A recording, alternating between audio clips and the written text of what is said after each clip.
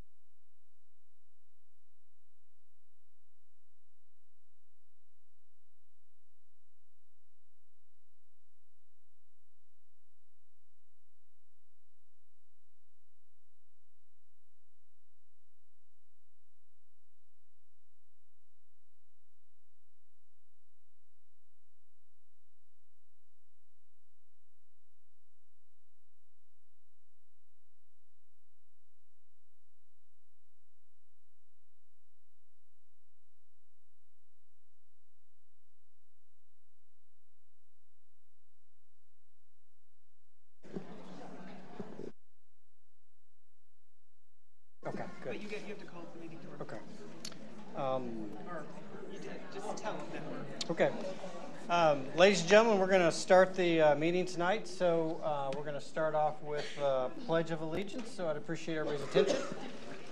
So, good evening. We have a very special person who's going to kick off our board meeting. I would like to invite Liberty View Elementary fifth grade student Oliver Epps to the front to lead us. Good evening, school board members, superintendent, Merrigan, district staff, and families. Please stand for the Pledge of Allegiance. Place your right hand over your heart. Ready? Begin. I pledge allegiance to the flag of the United States of America and to the republic for which it stands, one nation, under God, indivisible, with liberty and justice for all. Thank you, Oliver. That was wonderful. We're going to take a picture, so go ahead and go back up there because mom's going to need something for her scrapbook. And our board president is also going to join you for a pic.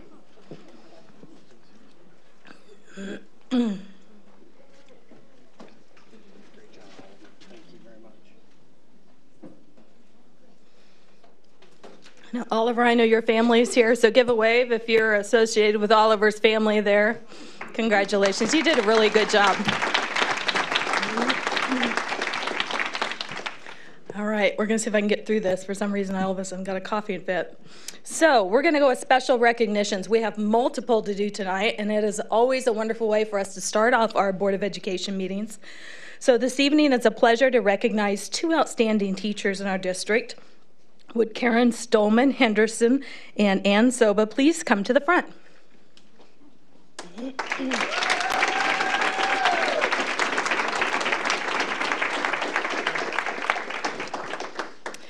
So Ann Soba, Blue River um, Elementary fifth grade teacher, and Karen Stolman Henderson, Blue Valley Northwest mathematics and engineering teacher, were selected to represent Blue Valley as candidates for the Kansas Master Teacher Award.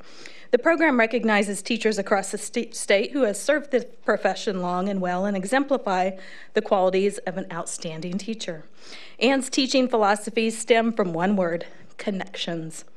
She firmly believes in the importance of building connections with students, co-workers, and the school community, and has done just that at Blue River Elementary. Karen has been at the Blue Valley Northwest since 1993, a total of 28 years. Karen played a major role in the expansion of engineering classes offered in Blue Valley and has a passion for helping female students become interested in engineering.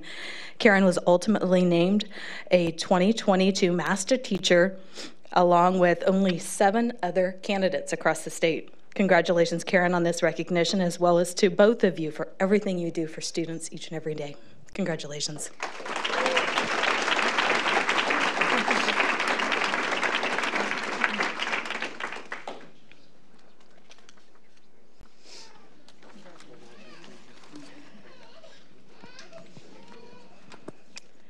All right, would Lizzie Boyle, art teacher at Sunrise Point, and Kate Tankel, a Spanish teacher at Blue Valley North, please come to the front?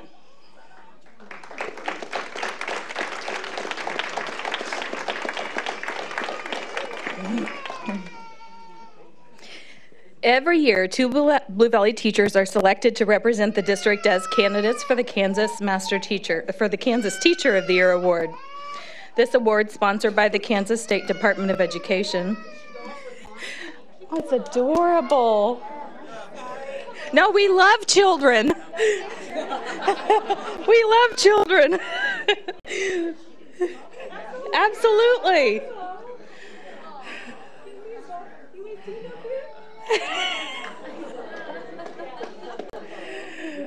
oh, that is precious. Sometimes it's about those moments that make it all worth it.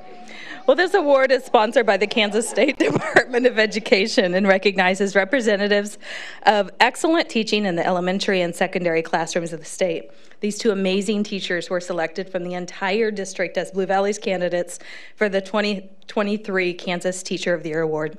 As you know, Blue Valley is known for its exemplary educators. Lizzie and Kate are two of the best.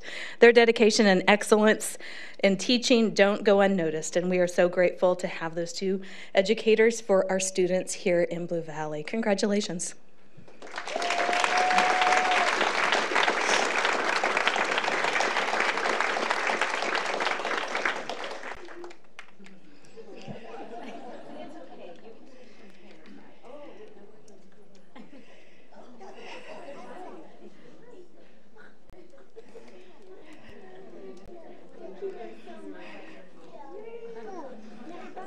Don't know if we're going to be able to top that because I don't know if the next ones are going to have that kind of cuteness here, but we'll give her a try.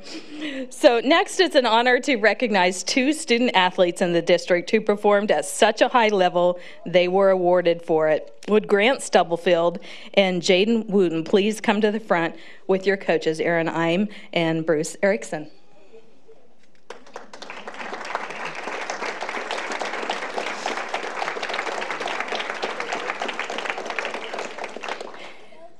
Okay, we'll go ahead and start with Grant. Grant's, I know what Grant looks like, and I have not seen him yet here.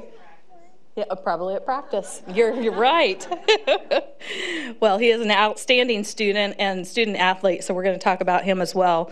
Um, Grant finished his junior basketball season at Blue Valley Northwest this year, helping lead the Huskies to a 6A runner up finish. You know, when there's team success, individual success is soon to follow. Grant performed at such a high level, he was awarded the 6A Boys Basketball Player of the Year by Sports in Kansas. So that's a huge award. So we'll be sure to extend our congratulations to Grant. Um, but now we also have somebody else who has uh, an, something to put on the fireplace award. You know, you make sure your parents put it up there because it's big.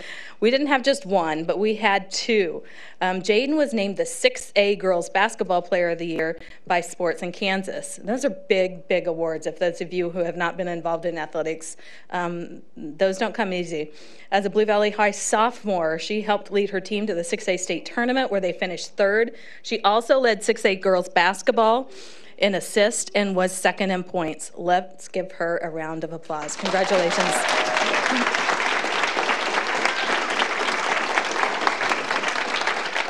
Okay, I have to say something because uh, you're the reason I had to go get new nails. because at the state tournament, Blue Valley High School girls played three games. The first game they won in the last second with a, uh, she went all the way down the court and made a basket. The second game, they uh, lost in double, overtime and barely lost. The third game for the third place and usually when you're playing for third place, sometimes it's not a great game. It was an amazing game.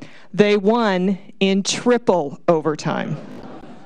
So um, Jaden and her Blue Valley High Tiger uh, girl classmates uh, did a phenomenal job, and and I think the future is very bright for you, Jaden. Thank you. Yeah. Absolutely. We're going to take a picture, but a reminder that participation in high school activities and athletics is a valuable part of the overall high school experience. And these two, um, these two individuals that we recognize tonight kind of exemplify that. So now we're going to move on to our Distinguished Service and Excellence in Education Awards. It's an honor to acknowledge two staff members. These people go above and beyond each day in our schools and across the district. With Lisa Barrett, Administrative Assistant at Morse Elementary, please come forward with her principal, Kim DeFries.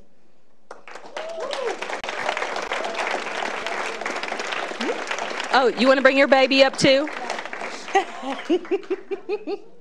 Yeah, her baby is usually works our board over on the IT side. He helps with a lot of IT stuff. So his baby, her baby isn't quite as the cute one we saw, but you you still got it going. You're just a little bit older. I might still start crying. okay. So, and we're excited to recognize Lisa Barrett with the Distinguished Service Award. Lisa has been with the district for 18 years. So, Kim, tell us what is so special about Lisa. Thank you. Um, so, on behalf of the Morse staff, students, and community, it is my honor to say a few words about Lisa Barrett, who you have named as the April Distinguished Service Award recipient. As principals, we always like to think we're in charge of a building, but the truth is, it is our administrative assistant. Lisa is the glue that holds us all together. She opens doors in the morning, she closes down the office at night. She takes care of us all in any way we need. Just ask Mrs. Mulholland, our school counselor. she is a good friend, a loyal colleague, a voice of reason when teachers or parents or even her principal is stressed. Lisa loves all of the students at Morse. You can see this by watching how she interacts with the kids and how much she knows about their families and their siblings. She might be considered their favorite aunt. She truly cares about their growth and happiness.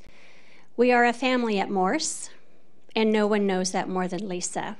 It is my privilege to work with Lisa and help Blue Valley celebrate her evening as the April Distinguished Service Award recipient. Congratulations, Lisa.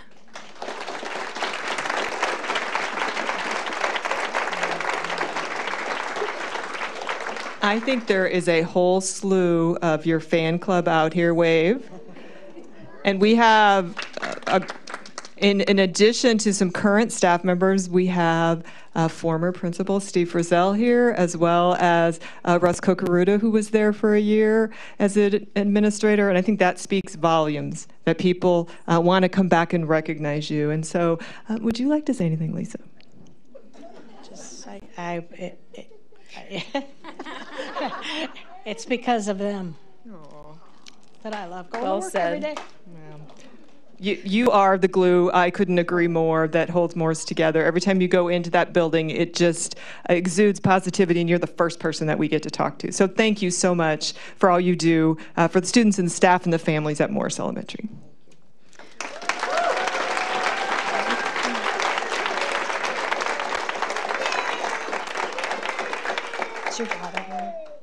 I was gonna say, I know the husband is here, so I wanted to give you a wave. I know we, and, and you're cute too. I don't want to leave you out. All right, now we're gonna go up to our next person who is our Excellence in Education Award winner. Would Emily Wilson please come forward with your principal, Nate Winslow?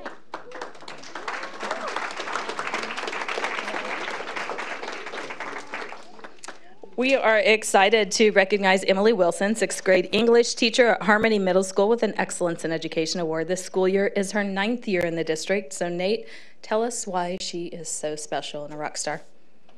Well, I'm going to do my best to give Emily all the praise she deserves. Um, but she is a wonderful teacher at Harmony Middle School.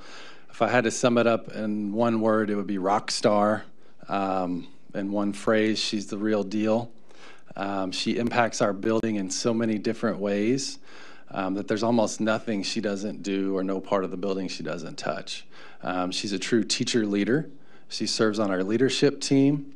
She's a sixth grade team leader. Um, she chairs several teacher committees.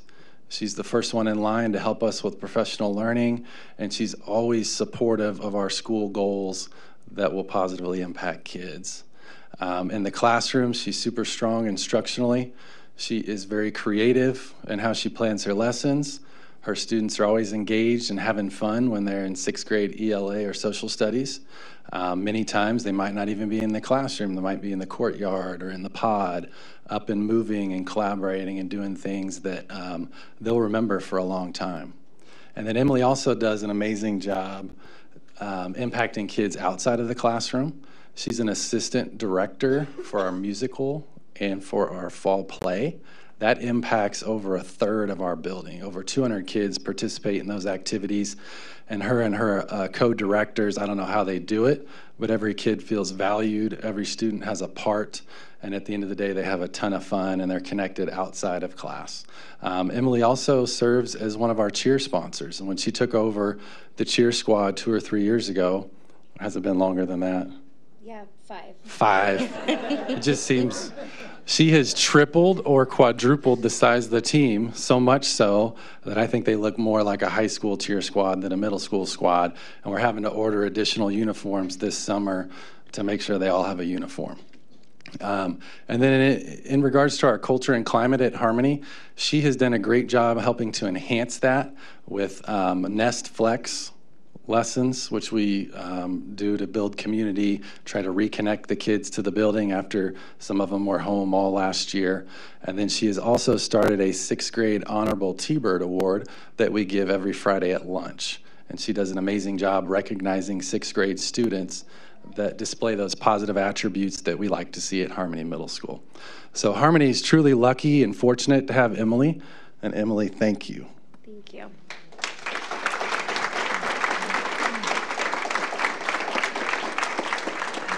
You know, Emily, I've been in your classroom and I could not agree with you more. Every time I've been in there, students are engaged and, and having fun and they're learning at the same time. Um, they, I don't even think they know they're learning, they're just having so much fun. But what really stands out for me is I think about um, anytime I've been to an event at Harmony, I've seen you. Whether it is the uh, feeder game at the stadium, um, at our uh, district stadium for football or whether it was the play or teasers for the play, you're always there, you're always involved. And that means so much to kids, that connection piece. And we just couldn't be prouder of you and all that you have done for Harmony. So thank you very much. And I know you have some family here, and I'm going to let you see if you want to say a few words. Okay. Um, well, I just wanted to say thank you so much. This award means so much to me. Um, but honestly, it could have gone to any one of my colleagues at Harmony. Um, I work with an absolutely fantastic community. Um, I also just want to say that I feel like Grant Stubblefield owes some of his success to me. So just throwing that out there for that previous award. Um, I had him in social studies. And then um, just a big shout out to my husband, Dustin. Um, he runs the show at home. As you heard, I'm doing a lot of extracurriculars, and I'm at school early and I'm at school late. And I wouldn't be able to do it without you. So thank you. Much love to you. Oh, so sweet.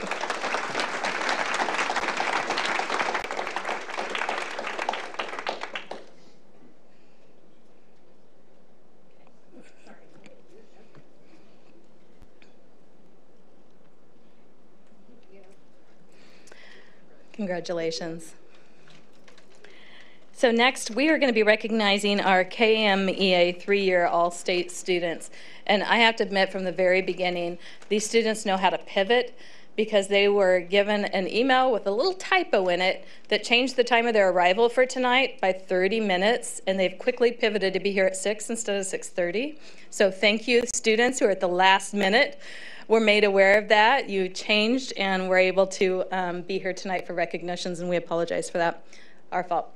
Um, the other thing I'd like to say is Janelle Brower is the person who leads a lot of this work um, district wide, and so she is the best person um, to recognize these students, and I'm going to let her come to the podium and do that. Thank you for all you do. You're welcome. Thank you for the opportunity to be here this evening to recognize the achievements of 14 exceptional Blue Valley music students. These musicians were selected as members of the Kansas Music Educators Association All-State Groups, which gives them the distinction of being identified among the highest achieving musicians in the state of Kansas. After a rigorous audition process in which students were evaluated on their ability to perform challenging literature for experts in the field. They were selected to perform in the All State Ensemble for their discipline All State Band, Orchestra, Choir, or Jazz Band. These select ensembles meet in Wichita every February at the Kansas Music Educators in Service Workshop, where their rehearsals and performances are an important part of the convention. The students here tonight not only earned positions within the Kansas All-State ensembles this year, but they qualified during all three years of their eligibility. KMEA recognizes the significance of this accomplishment by presenting each of these students with a specially designed medal to honor them during the convention. It is with pleasure that I join with you in honoring these outstanding musicians. For those students who are present, as I call your name, please stand and come to the front to be recognized. Parents, family members, and teachers, please also stand and be recognized as your child or student is acknowledged. George Shre, Blue Valley High, clarinet. Harry Wong, Blue Valley North, alto saxophone. Ethan Guo, Blue Valley West, French horn. John Muldoon, Blue Valley North, clarinet. Please come forward. Varsha Venkatesh, Blue Valley Northwest, oboe. Irene O, Blue Valley North, violin. Yenna Moon, Blue Valley Northwest, violin. Julianne Zing, Blue Valley Northwest, violin. Daniel Cheng, Blue Valley Northwest, string bass. Anna Bayich, Blue Valley High, alto. Gracie Hernandez, Blue Valley West, alto. Natalie Palicki, Blue Valley Northwest, soprano. Kimberly Gibson, Blue Valley Northwest, soprano. Shreya Bhatia, Blue Valley Southwest, soprano. Thank you to our Board of Education for the opportunity to recognize these students this evening and for supporting the musical opportunities that have led to their success. Let's give them a round of applause.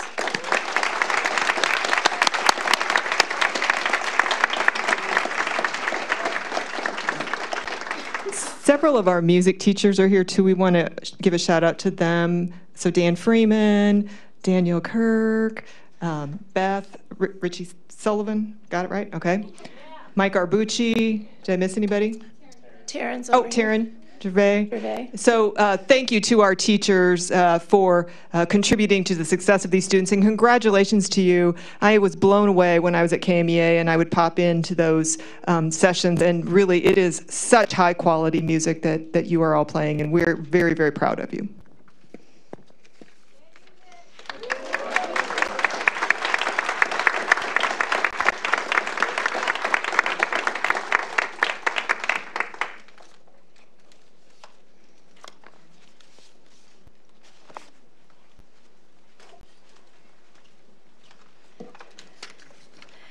And that wraps up recognitions for this evening. So, for those of you who would like to um, stay for the rest of the, of the meeting, we absolutely want you here. For those who would like to sneak out, now is your time.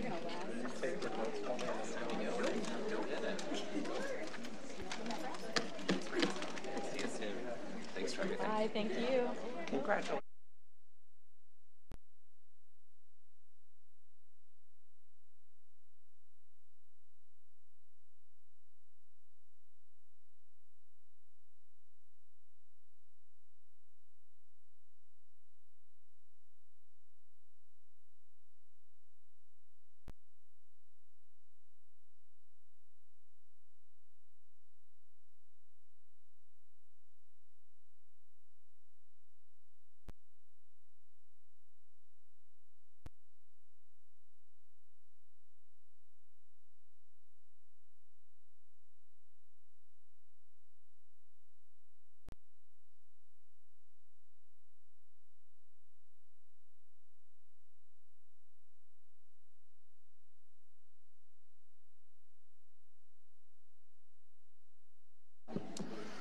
Okay, our next uh, agenda item is public comments. Um, We want to welcome those who are in attendance to address the board or listen during open forum. Open forum provides a time for individuals to address the board. In an effort to ensure an orderly and efficient and effective and dignified meeting, uh, open forum will be provided for up to 60 minutes. In an effort to give as many individuals an opportunity to speak as possible during the 60-minute open forum, the board will enforce a three-minute uh, limit per speaker. After 60 minutes, the board will close open forum and will proceed with its agenda items for the evening. Whether you plan to speak or just listen, we're glad you're here because we care about the opinions and concerns of our patrons. If you do not have an opportunity to address the board during the meeting, you may address the board by email communication. I have a few reminders about open forum that will help our speakers to have a constructive and positive experience when discussing items with the board. When making remarks, please be civil and use respectful language. Please limit the discussion to the relevant business of the board tonight. Discussion of matters related to specific student or employee or not is not allowed. Instead, comments should be submitted in writing to the superintendent. Please remember to limit your comments to three minutes and avoid repeating the concerns of a previous speaker. If you have questions that require response, someone will follow up with you at a later time. On behalf of the board, I welcome you and appreciate your interest in Blue Valley as we strive to provide the very best education possible to, to our students. When your name is called, please introduce yourself before beginning your remarks. As a reminder, we ask that all remarks are limited to three minutes. Let's get started. Amy Thomas is our first speaker.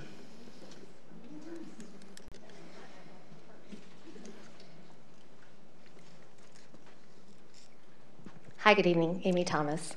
Um, I'd like to first thank you each uh, for your vote on April 8th to rescind all of the COVID 19 policies, um, specifically the absenteeism leading to masking. Uh, this was the right decision. Uh, thank you to the five of you who voted to rescind these tyrannical policies, and our children deserve that freedom. So thank you. Secondly, I'd like to express my great concern of the decision that this board made to retain pornographic books in our high school libraries. I'm shocked and saddened and frankly disgusted that anyone believes these books which contain sexually explicit pictures, should be anywhere close to our minor children. The fact that our district librarian, who is advocating for these books to remain in the schools, sends her children to private Catholic schools should be all you need to know that this is the wrong decision for our children.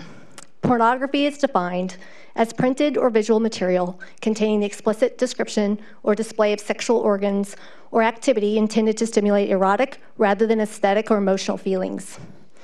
These books contain explicit, explicit pictures of people having oral sex. They fit the definition of pornography. Access to these books should not be permitted in any of our schools, and it was made very clear in the meeting that there's no oversight and no records of these books being checked out. You are, you are willfully providing pornographic material to 14 year old children. According to the Kansas law, State Statute 215510, um, employing, using, persuading, inducing, enticing, or coercing a person under 18 years of age to engage in explicit sexual conduct for the purpose of promoting any performance in a visual printed medium such as film, photo, either profit or the intent of arousing or satisfying person's sexual desires is considered sexual exploitation. Promoting specifically is providing, lending, distributing, circulating, disseminating, presenting, displaying, exhibiting this material. Sexual exploitation of a child is a felony, punishable by up to 55 months in prison and up to $300,000 in fines. If the child is 14 years of age and the offender is 18 years of age or older, it is a level 5 felony punishable by life imprisonment and up to $500,000 in fines. According to the Blue Valley Board of Education website, your policy states the Blue Valley Board will assure that the district abides by all applicable federal and state laws and district policies. According to what I've just read and, and just stated in the Kansas law, it appears as though the district is engages in, in, engaging in criminal activity by providing this material. How can you agree to continue to condone this criminal activity in our schools, and what are you going to do to rectify it? Thank you.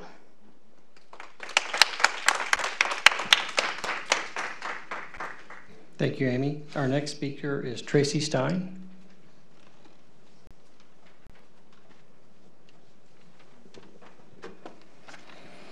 Thank you, Tracy Stein.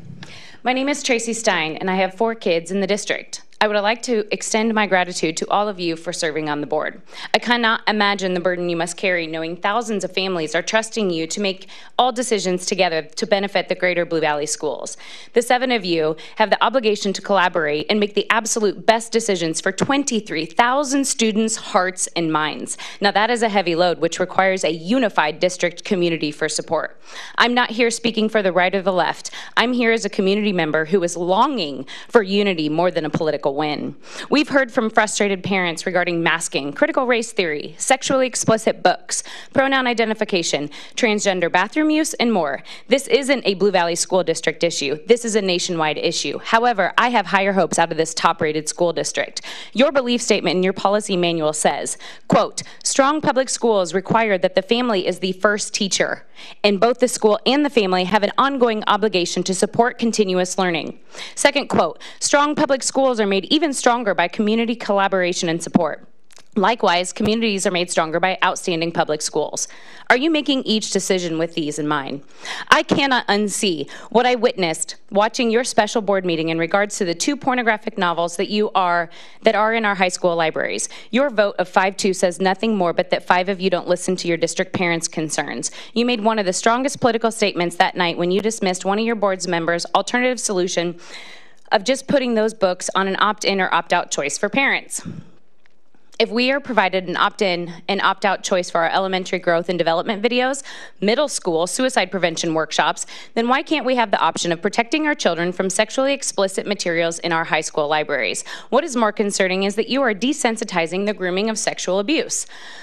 Does exposing sexually explicit material to our children better them in any way? Does this have anything to do with their academic learning? Why in the world would you vote to keep the books without any safety measures in place for all children? Are you honestly comfortable with this in your hands? To the district families listening, the community divide on all the issues around these books, gender identities, and sex education is growing. The school-family relationships have been broken, the family-teacher relationships aren't the same, and it's starting to affect our kids. We deserve better. We deserve parental consent. We deserve transparency of the school curriculum and the books read to students starting in kindergarten.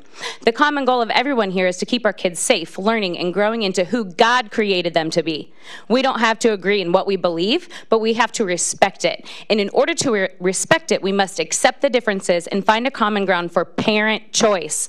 There are plenty of parents in this district, like myself, who saw the public school as a safe place for our children to learn. I will continue to be relentless and unapologetic in my efforts to keep families engaged and to create a unified district community once again. In the words of Abraham Lincoln, a house divided against itself cannot stand. Bring your best for those trusting in you. Thank you.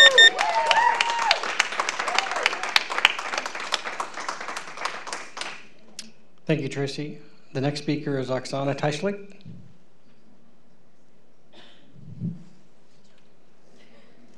The next speaker is Jeff Nessel.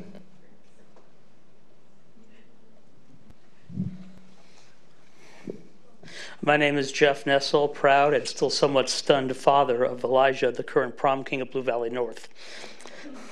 Uh, because it was used by Hillary Clinton, the phrase, it takes a village, which is actually an old proverb, is scoffed at by many, which is sad because those of us with special needs kids know it does indeed take a village of neighbors, teachers, and school administrators, among others, to help with our child. My son Elijah has been lucky to have a variety of people interact in his life, especially early teachers like Miss Amy Sue, Miss Penny, Mrs. Norber, Mrs. Go, and Mrs. Everhart, and later instructors like Mr. Hale and Mr. Oleg, along with principals like Dr. Ostrowski and Chris Legleiter. Who got it?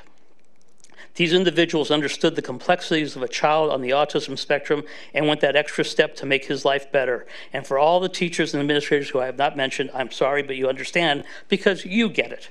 Your only agenda was to make sure all the students were treated with respect and dignity.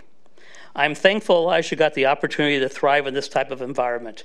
It is why I bought a house in the Blue Valley District over 30 years ago, because it was the best district in the area. That is why I am saddened by what is occurring now in Blue Valley and what awaits other students, especially those with special needs, who come after Elijah.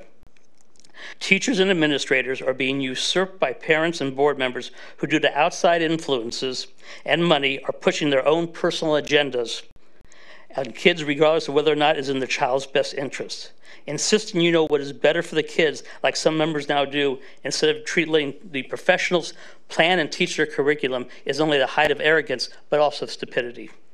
Years ago, I was asked not to speak at a PTO meeting as my comments were considered inappropriate by the president of the organization. Why?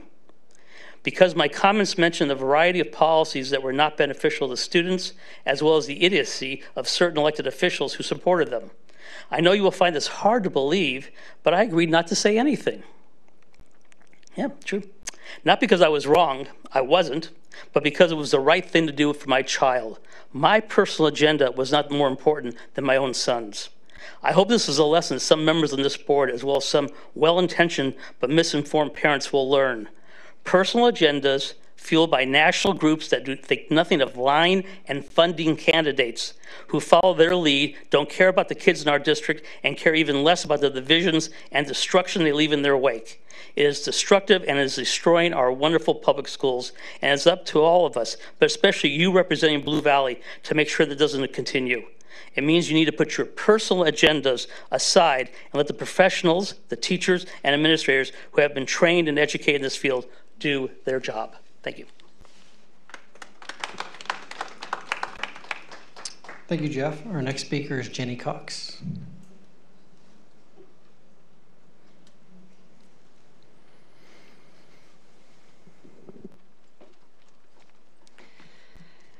The innocence of a child. Who determines what innocence is? Who determines what a child is ready to see, hear, or experience? How do we decide when a child is ready to set aside old ideas for new ones? Or put another way, who determines when something else is prioritized over innocence? Kansas state law helps us determine this for our children under the age of 18. 38 141 in part, it shall be public policy of this state that parents shall retain the fundamental right to exercise primary control over the care and upbringing of their children. So it makes sense that parents are to be informed of what students are exposed to, especially if our culture still believes sexually explicit material is not acceptable for children to see. And ideas beget ideas, emotion begets emotion. Are we verifying emotion and ideas kids already have, or giving them ideas and emotions to have? What ideas and emotions do we want to flourish? There seems to be a disagreement. At the very least, some of us parents within Blue Valley are concerned once we became aware of sexually explicit books in some of the school libraries. How can concerned parents be listened to? What could be a solution? We need the opt in, opt out policy for parents. There are already other information permissions for parents in place um, nurse's office, for photography permissions, field trips, tra- transportation, etc. Other schools are already doing this. I have a link in an email already sent to you on a school board. I'm sorry, already sent to you on a school in Illinois that is putting parent permissions on gender queer for students under the age of 18. So, how do we determine what is objectionable and in need of parental permission? So, let's look at current policy. So, in part, due to time restraint, policy 4610 appropriateness of the resource for the age of the student with whom the resource is intended should consider emotional development, ability level, learning style, social development, absence of vulgar language, sexual explicitness, or violent imagery. In this school board, is the school board violating their own policy? It's worth exploring. We are questioning books that are too sexually explicit for children. That is our litmus test. That is our discriminating factor, period. And we ask what is the purpose of having this material in high school libraries? Since we know high, since we know schools are not in the business of fostering sexual exploration and that they are in the business of teaching core subjects, there is no purpose. It may be said that a book that is not explicitly about sex or porn is fine. Rated R movies are often not explicitly about sex, but let's say baseball, for example. However, it can be rated R because there are two, three sexual explicit, explicit scenes.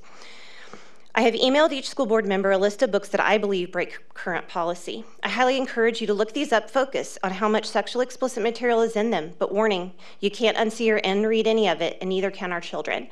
Another question to ask are these books literally challenging, providing education in the areas of core subject? I believe Blue Valley is treading on legal shaky ground. Thank you.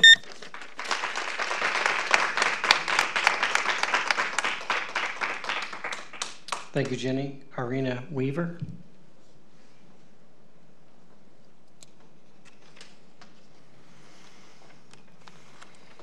Hello, Irina Weaver. I was very disturbed by the uh, Blue Valley book hearing result on March 24th. I'm wondering what values the book, the books like Genderqueer and Fun Home add to our children's development. How to masturbate, how to have an oral sex, how to penetrate vagina with a finger, how to use sex toys. Even the vendor, Mackin, believes genderqueer is not appropriate for younger high school students. You don't adhere to your own uh, policy, like uh, mentioned before, selection of learning resources 4600, absence of vulgar language and sexual explicitness. I wish the school board and Blue Valley South uh, School District would spend the same amount of energy on improving our children's academic success. Do you know that KU lowered their requirements for graduate last year? That should be a huge red flag for everyone. Yet your worries are to preserve sexually explicit literature at our school libraries. It is not your job leave it to the Playboy Corporation, the porn industry, and the recent addition to this list, Disney. We value the innocence of our children.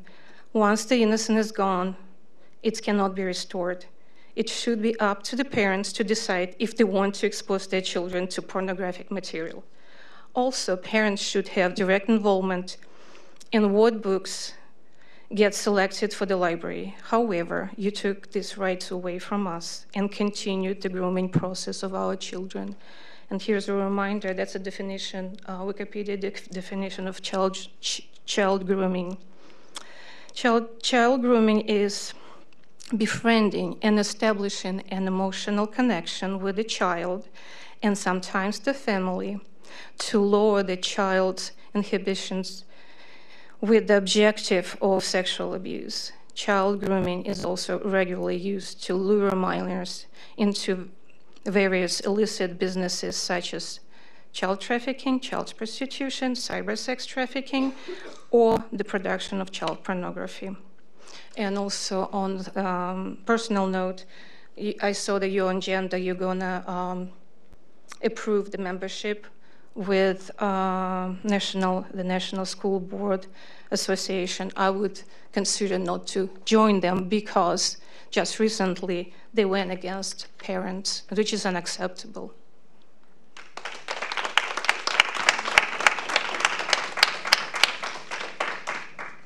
Thank you, Irina. Next speaker is Sherry McCants.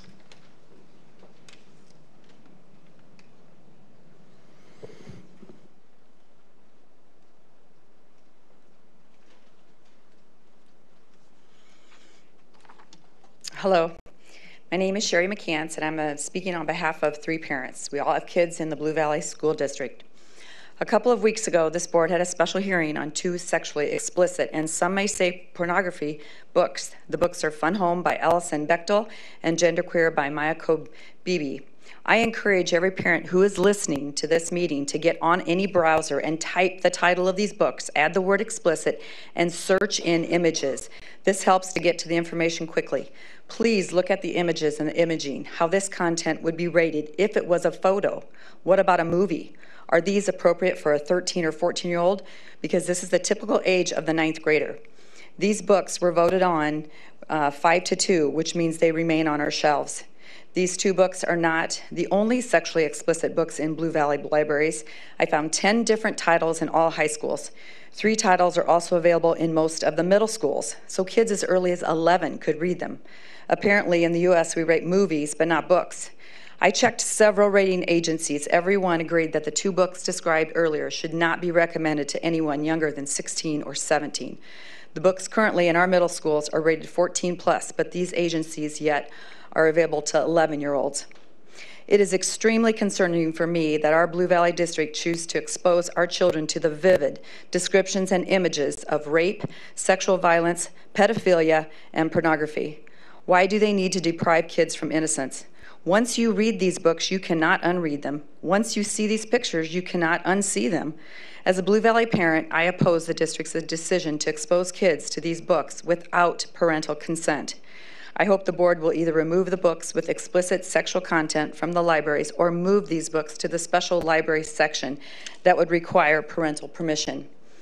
I have another topic to share, and it's a teachers sharing their personal lives with their students. Recently, a child shared that her entire social studies class uh, hour was spent on her teacher telling the class about his divorce and that he intermittently uses wife or ex-wife as he is adjusting to this. She was told there were, they were three weeks behind on where they're supposed to be with their schoolwork, and she doesn't like to hear about his personal home situation. It makes her uncomfortable.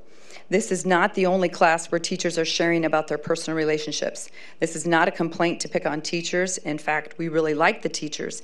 The point is that her daughter has certain goals for high school and beyond, and is concerned that with the past couple of years, plus experiencing classes like this, are not progressing her academic learning and bettering her studying habits. Now, this is a perspective of a middle schooler regarding her level of discomfort of an adult discussing their personal story of divorce. I feel that what should be used, but sh- should be used is academic and not uh, social. thank you.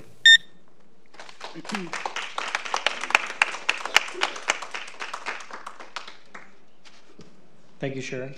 Jacob Osborne.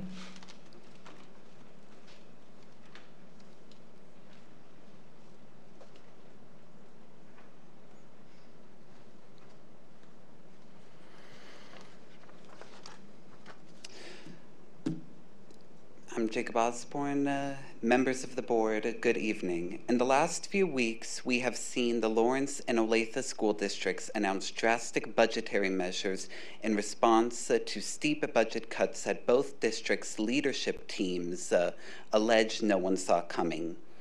It is not quite clear how Lawrence found itself in such a position. In regards to Olathe, however, their leadership at least saw seven of their $20 million shortfall coming, for they knew the Kansas Board of Tax Appeals would be reducing the Extraordinary Growth Fund mill rate as the district's rate of school openings tapered. Undoubtedly, Blue Valley is in a vastly different position socioeconomically than those other two districts. Nevertheless, the best leaders are those who prepare for the unexpected. I urge this board to study these failed cases so that Blue Valley may learn from them the warning signs of imminent collapse in an effort to prevent such dire budgetary cuts as both Olathe and Lawrence have done. At the very least, the district should ensure the budgetary office is tracking the extraordinary growth fund mill rate and its projected decline date, uh, ensuring that both are taken into account when calculating future budgets. With that said, I urge the seven members of this body to ask themselves this question when planning for the future. Whose absence is going to be felt more by the children? It's the teachers, librarians, paraprofessionals. These are the people who directly impact the lives of our students. Undoubtedly, this board shall one day face the reality of such a choice, and when it does so, I hope the administrators are asked to shoulder the burden equally. Now on to the proposed uh, mathematics standards the board shall be voting on tonight. These proposed K through 5 standards are inappropriate for such young students. For example, one assignment given in the presentation you shall see tonight regarding three-dimensional shapes asks, what makes a good puzzle? How could a fifth grader be able to answer such a vague question? Another is, what strategies for solving these puzzles have you and your partner come up with? Uh, whatever the teacher taught us, uh, they're fifth graders. Uh, they're going to do what their math teachers tell them. Moreover, these mathematics lessons appear to call for students to self reflect. Self reflection is something that most adults have no desire to do. Say nothing of K through 5 students, especially over a topic such as math. Then there is the reflection itself. Four of the six reflections are social emotional learning based. What does this have to do with mathematics? Another is for ELA. Out of the six reflection questions, only one pertains to the content matter. How does this make sense? So, thank you for your time and for hearing my concerns. Thank you, Jacob.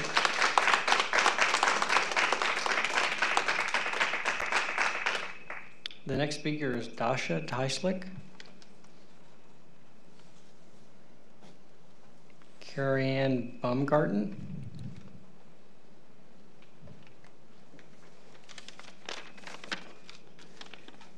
Hi, my name is Carrie Ann Baumgarten, and I'm here as a community member. Um, first, before I read what I have to say, um, I'd like to, for a clip to be played so you can hear something.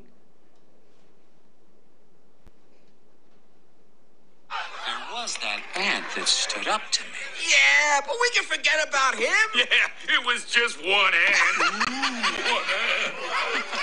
yeah, you're right. It's just one ant. Yeah, boss. They're puny. Hmm, puny. Say, let's pretend this green is a puny little ant. Did that hurt? nope. Well, how about this one? Are you kidding? well, how about this?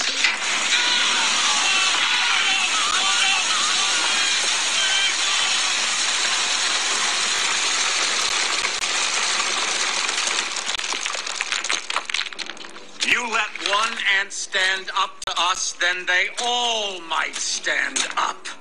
Those puny little ants outnumber us a hundred to one.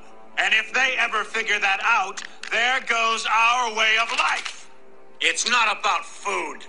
It's about keeping those ants in line. That's why we're going back. Does anybody else want to stay?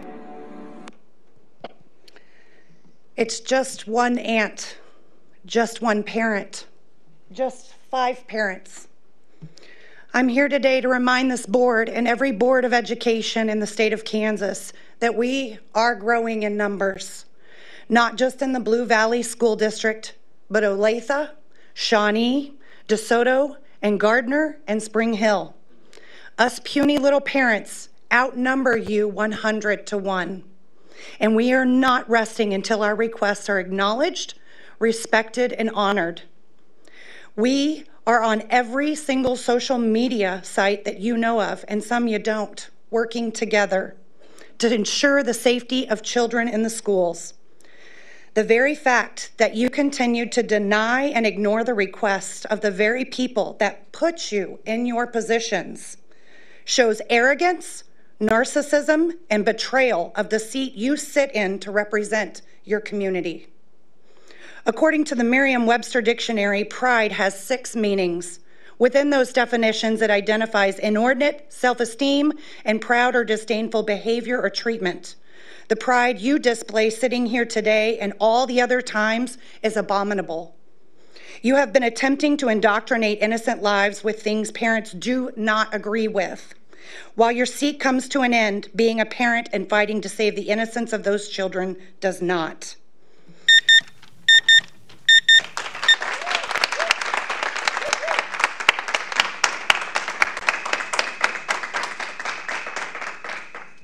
Thank you, Carrie Ann. That wraps up our open forum for tonight. On behalf of the Board of Education, I'd like to thank our participants. We appreciate that each of you took time to share your thoughts with us. Please know that the board and the district administration took notes during open forum and will follow up as needed with participants. We're going to take a five-minute break for our closed captioner.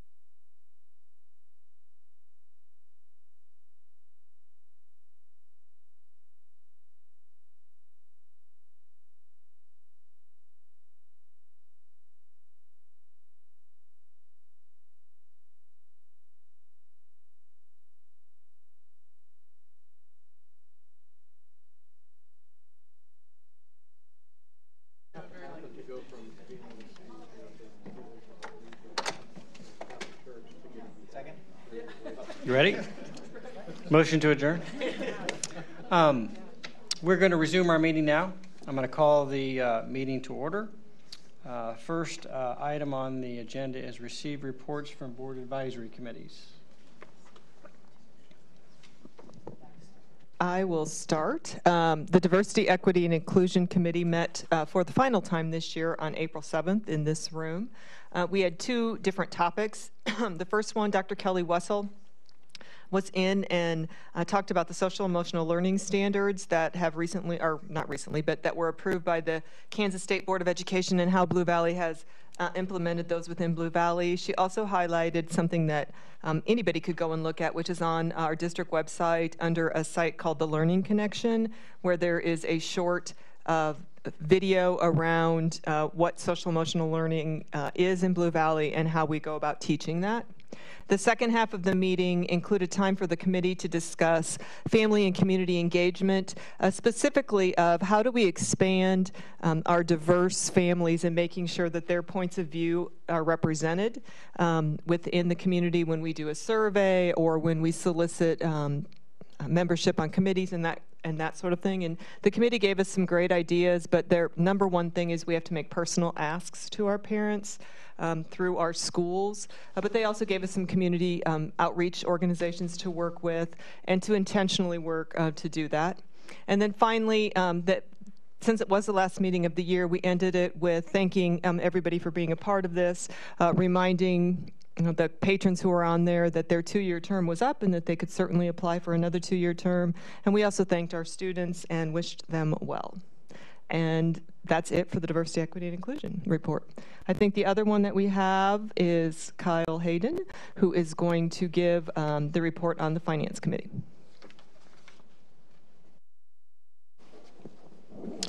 The Finance and Operations Board Advisory Committee met at 7.30 a.m. on April 7th via Zoom. The committee received some general district updates from Patrick Hurley and Amy Teisling.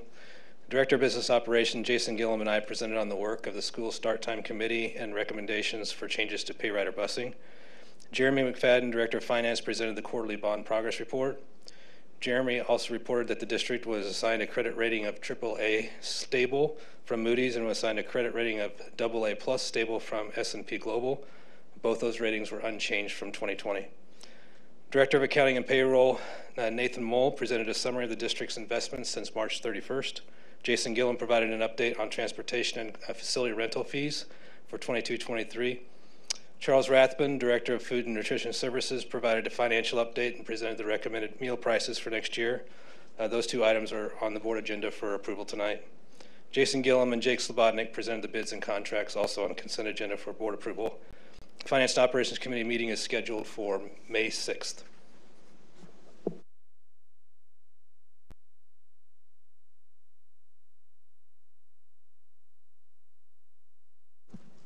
Thank you, Kyle. Thank you, Dr. Merrigan. Uh, the next item is the um, approve the agenda for the April 11th, 2022 regular Board of Education meeting as published. Oh, board reports. Uh, sorry about that. Let's go back to uh, receive board uh, reports from board members and the superintendent on items not on the agenda. Tom? Yeah, just real quickly, I've said it a thousand times or last year or whatever. I love normalcy, so I love seeing a packed house tonight and all the awards and, and the teachers and their families and people cheering. Um, love seeing all the activities go around, the great theater performances. I know several folks went to see Footloose. I probably stole your thunder, didn't they? Um, seeing our teams you know, or bands and cheerleading down at Disney performing, and then all the state championships going on, our choir performances. I know there's a big thing this festival this week in regards to that. So again, it's uh, it's it's been great, been great for for this community and great for these kids. So that's all I got. Thank you, Tom. Jody?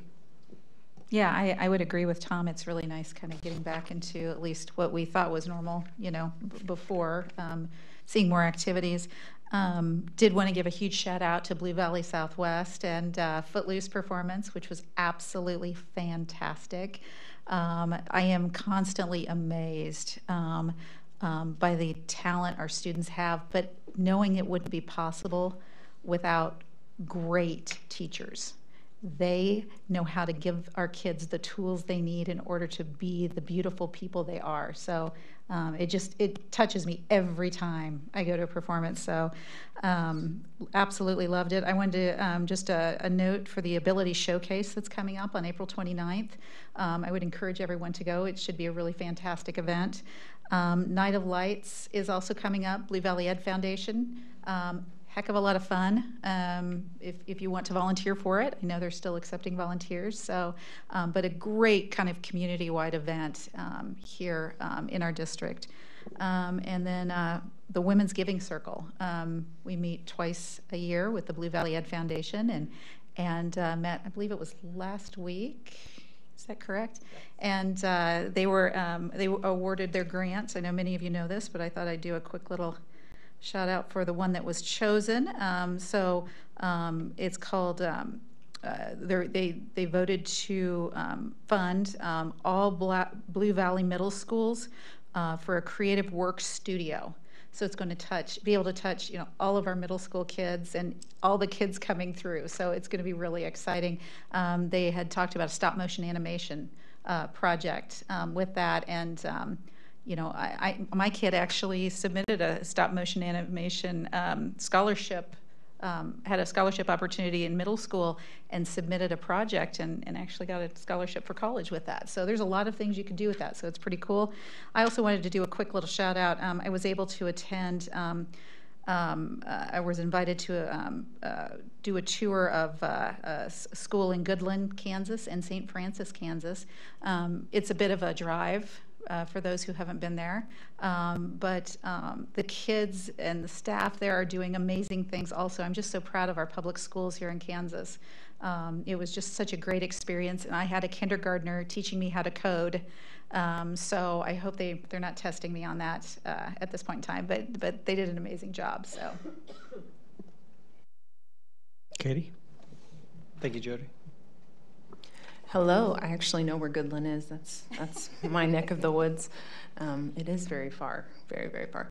Um, so I ended, I think our tour of the schools at Blue Valley North and OTE. Blue Valley North, um, we got to see the girls' garage, which was super cool, um, and their new gym, beautiful. Uh, Dr. Ostrowski is so full of life and ideas, and you can see that he really wants to bring some life into the tech area of the school, so that's pretty cool. Um, OTE was bright and cheery as always, just like I remember it. Um, great teachers, got some hugs, um, and the principal, awesome. Um, we went to Topeka and um, met there.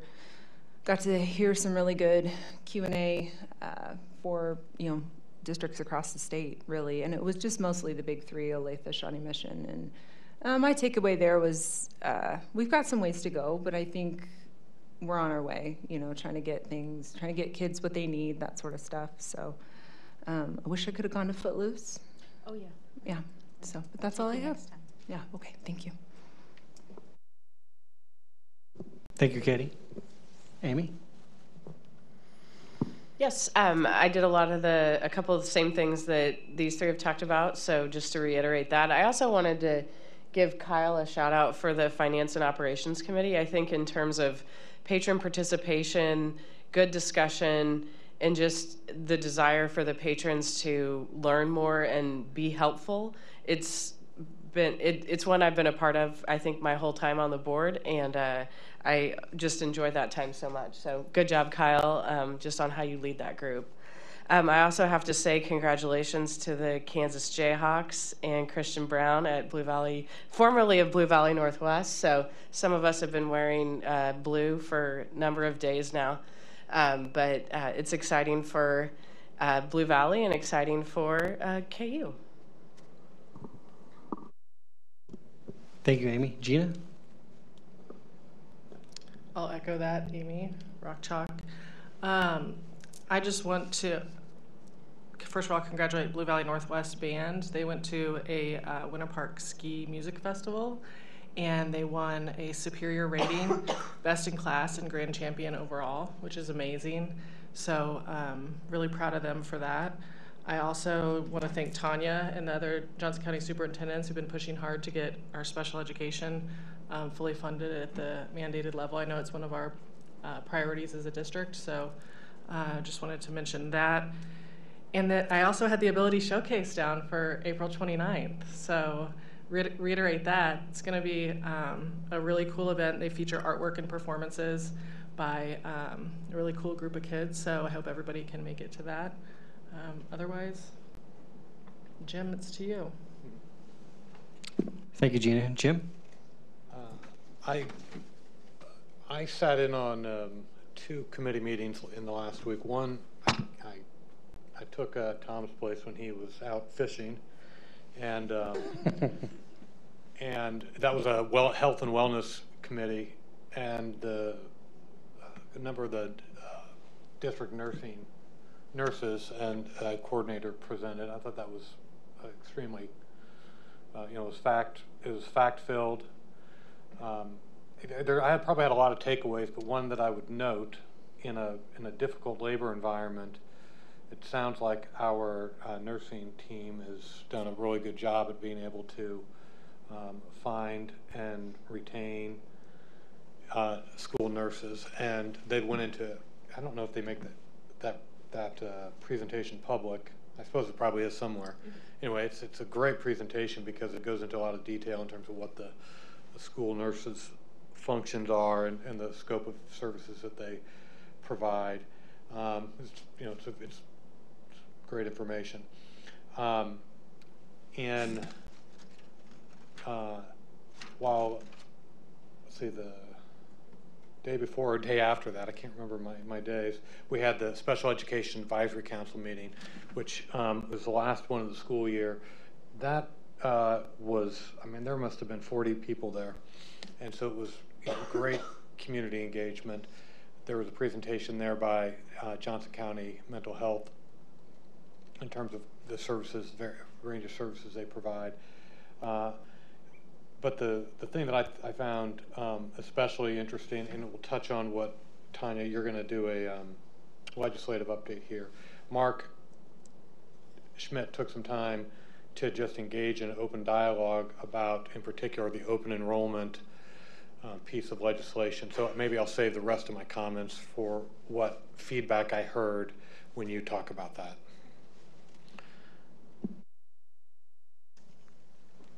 Anything else, Jim? Is it uh, Dr. Merrigan?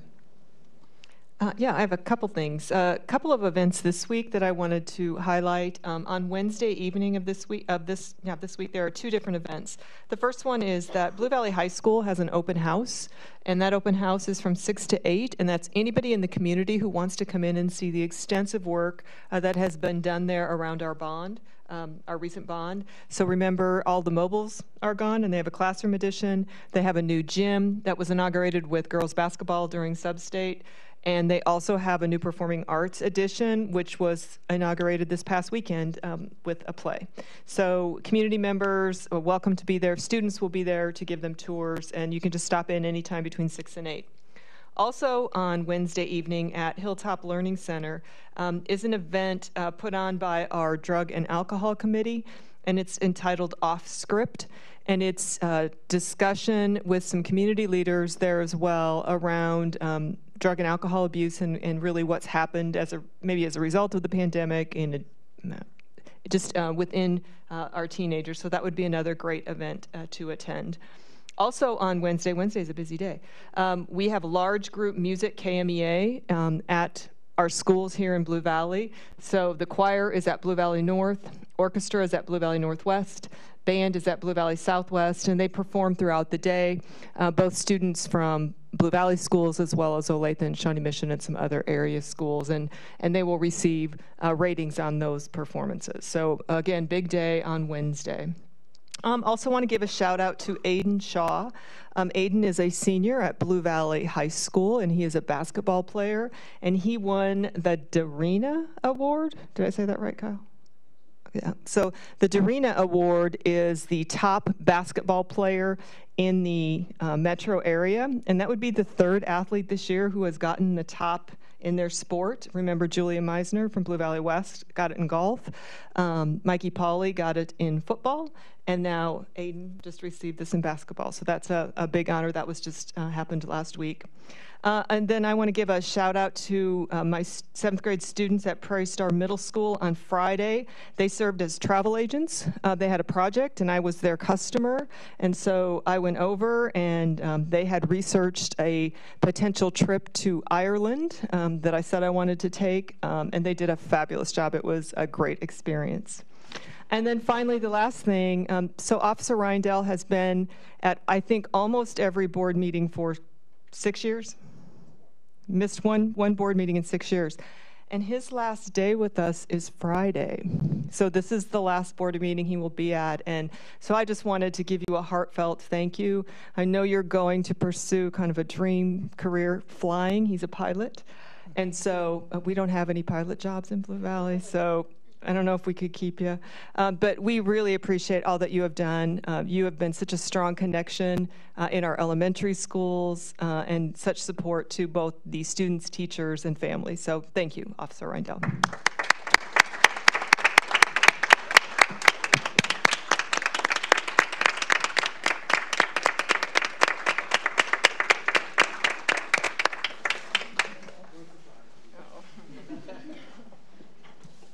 And that's it.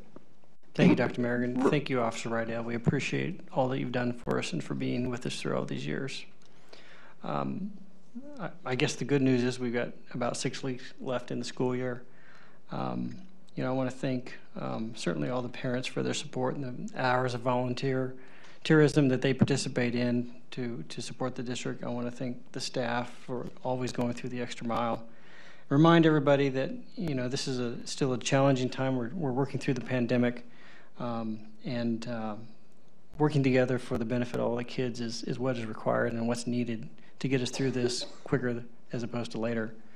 Um, I want to thank the uh, superintendent for work on on the legislation. I know we went to uh, Topeka last month and met with the Johnson County delegation. And uh, we did uh, provide some, some testimony and some um, written positioning on how critical special education funding is for our budget going forward. And, and we are going to have to have some, some budget conversations.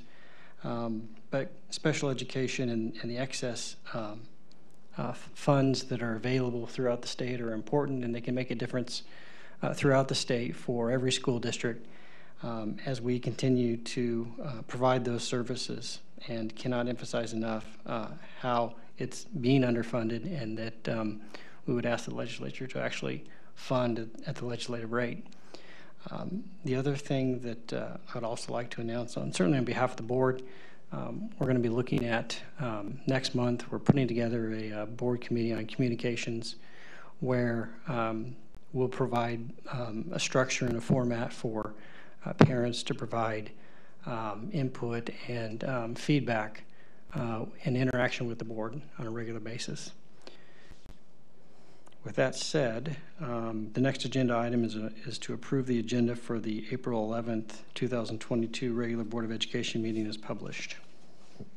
I move the Board of Education approve the agenda for the April 11th, 2022 regular Board of Education meeting as published. Is there a second? Second, uh, motion by Tom, second by Jody. Um, is there any discussion? Uh, seeing no discussion, uh, all in favor, raise your right hand. All opposed, same side, same side, same hand. Um, motion passes 7-0. Um, next item is approve the consent agenda for the April 11th, 2022 regular Board of Education meeting as published. Do I have a motion? I move that the Board of Education approve the consent agenda for the April 11th, 2022 regular Board of Education meeting as published. Do I have a second? Second. Uh, motion by Amy, second by Tom. Any discussion? Just one comment, because one of the speakers mentioned uh, in uh, the National School Board Association and the controversy that occurred last fall um, with the uh, a letter that was written, and at that, at the we were a number of us were at the national meeting um, a few weeks ago, and the new president. Make sure I'm getting this right. New president addressed. What's that? executive director addressed that controversy and, and said that they were committed to, um, uh, I guess what I would say is a, is a position or a stance going forward to be nonpartisan in their, in the, in what they provide, recognizing that there's people all over the, the, the map in terms of where they might fall politically and to, um, so I think it's at least important for people to know that the, the organization has taken that particular, um, you know, made that, that statement. They've made some changes at a, at a senior leadership position, and um, it's just noted because it did concern a lot of people uh, that I that I'm aware of. Yeah. I'm, I'm glad you noted that, and, and apologized at the same meeting as well. Yeah. So I'm glad you noted that, Jim. Thank you, Tom and Jim. Anybody else have any other comments on the motion to approve the consent agenda? Seeing none, all in favor, raise your right hand. All opposed, same sign. Uh, motion passes 7 0. Now we're going to move on to uh, new business.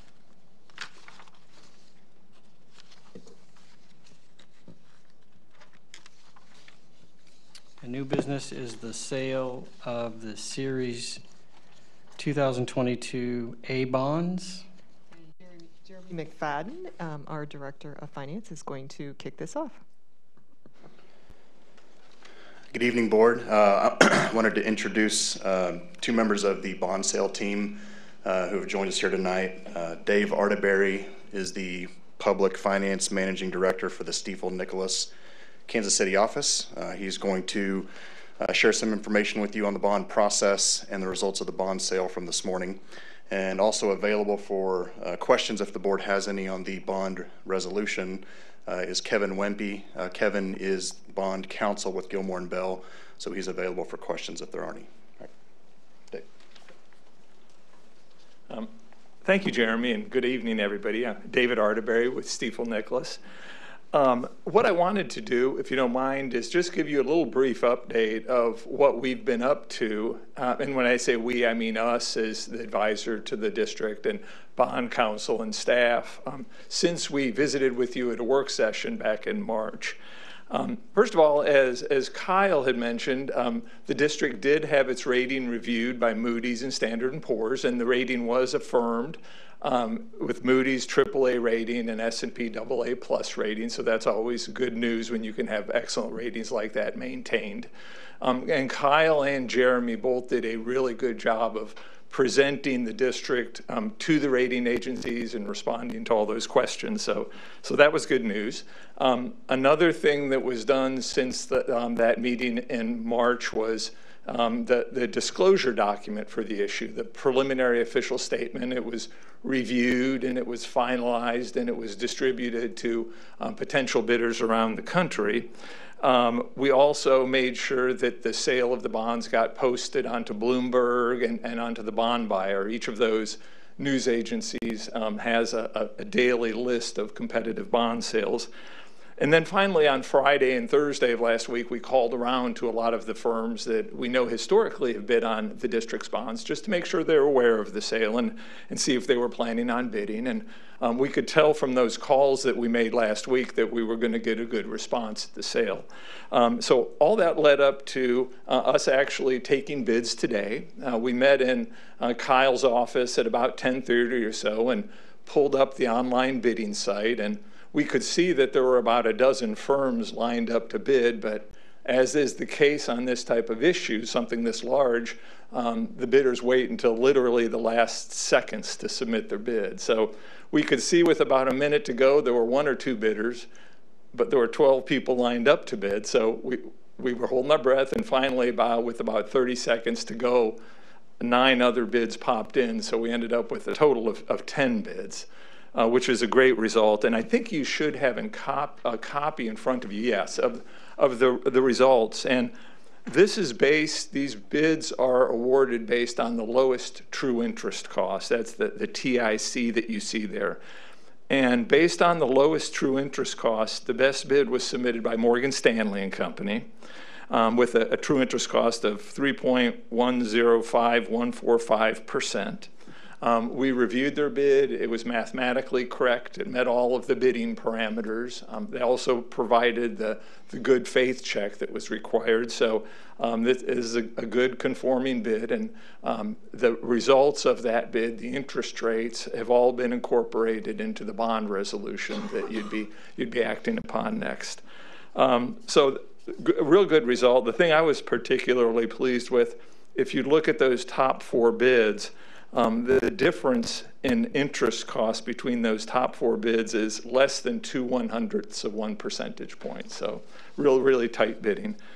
Um, I also um, provided to you, I think, I don't know if it's on the next page or the back side of your page, just I thought you might be interested in seeing just a little bit of a history of other recent new money bond sales. This doesn't include refinancings, but um, bonds issued for new projects that the district has done over about the last decade or so.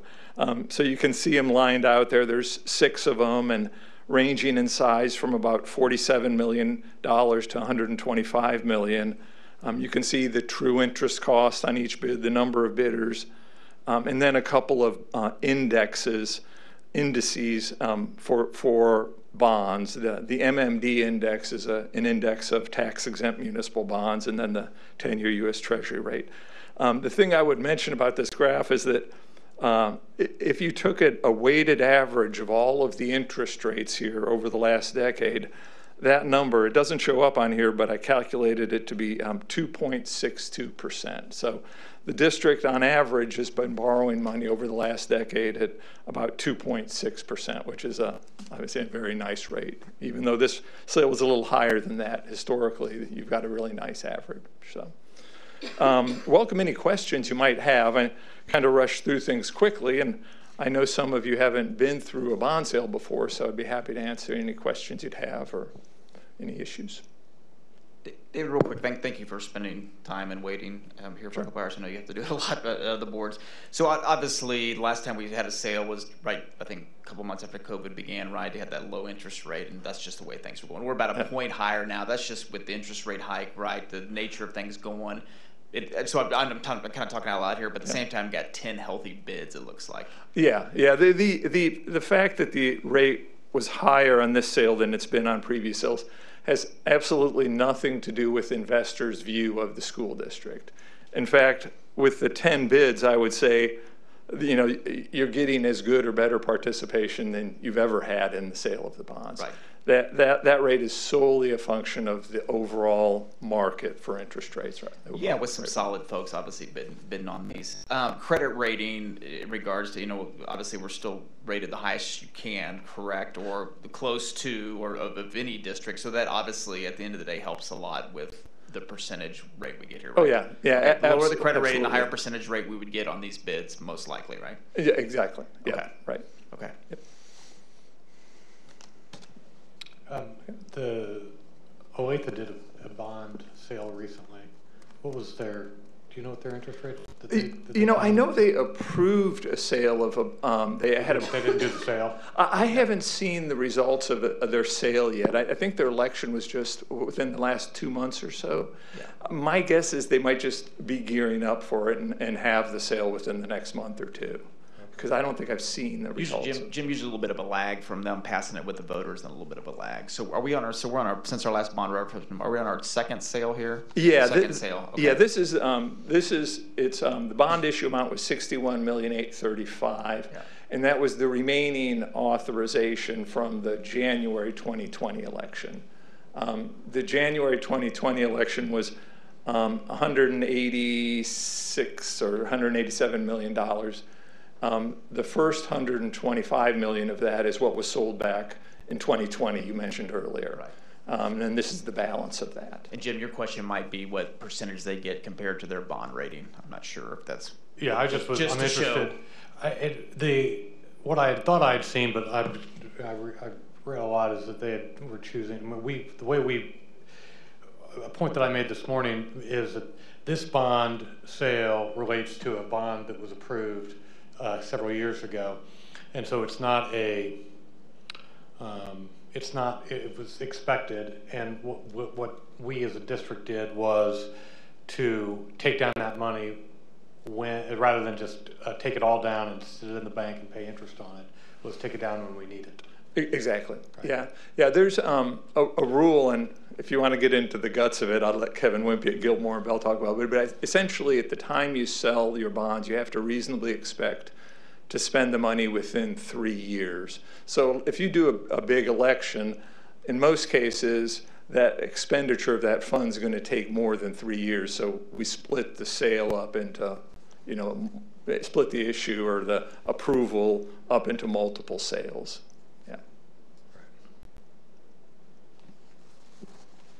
Any other questions?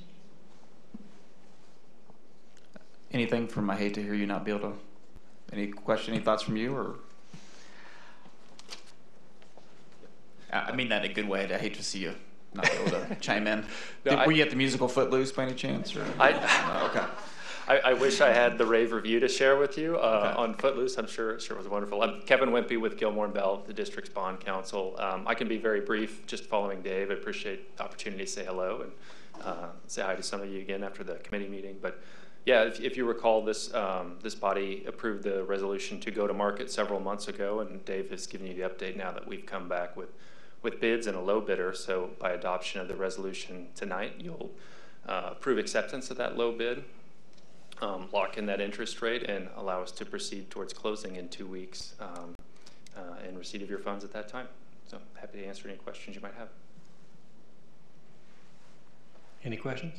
I, I- just think we had to kudo just these guys and our entire team and the district and, and superintendent and our, our new director of finance and everybody. Just uh, th- these are the way we fiscally run this school district is is it's run very very well, which allows us to save an incredible amount of taxpayer money and the ability to get these type of interest for bond sales. So I just I want to note that that's just really really important. We pass these votes, and again we'll be going for bond in a few years and talking to our voters that we're fiscally fiscally responsible with their money and doing the right things, which able, allow us to borrow money at a cheap rate. So thank you to Can you everybody. articulate, this, these are um, also just for people's awareness, these are fixed rate bonds for, for a period, or do they, do they ever float, or they're a fixed rate for the duration?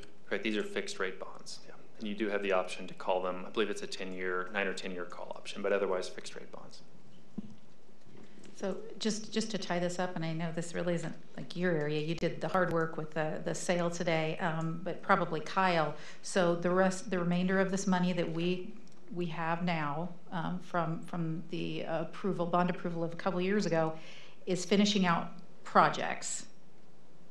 Can you just, just mention kind of what this is tying up? Yeah, absolutely. So um, we've expended about 106 million of the 125 from the first sale, and we're two years past that first sale. So, you know, speaking to that three-year window, we're well within that.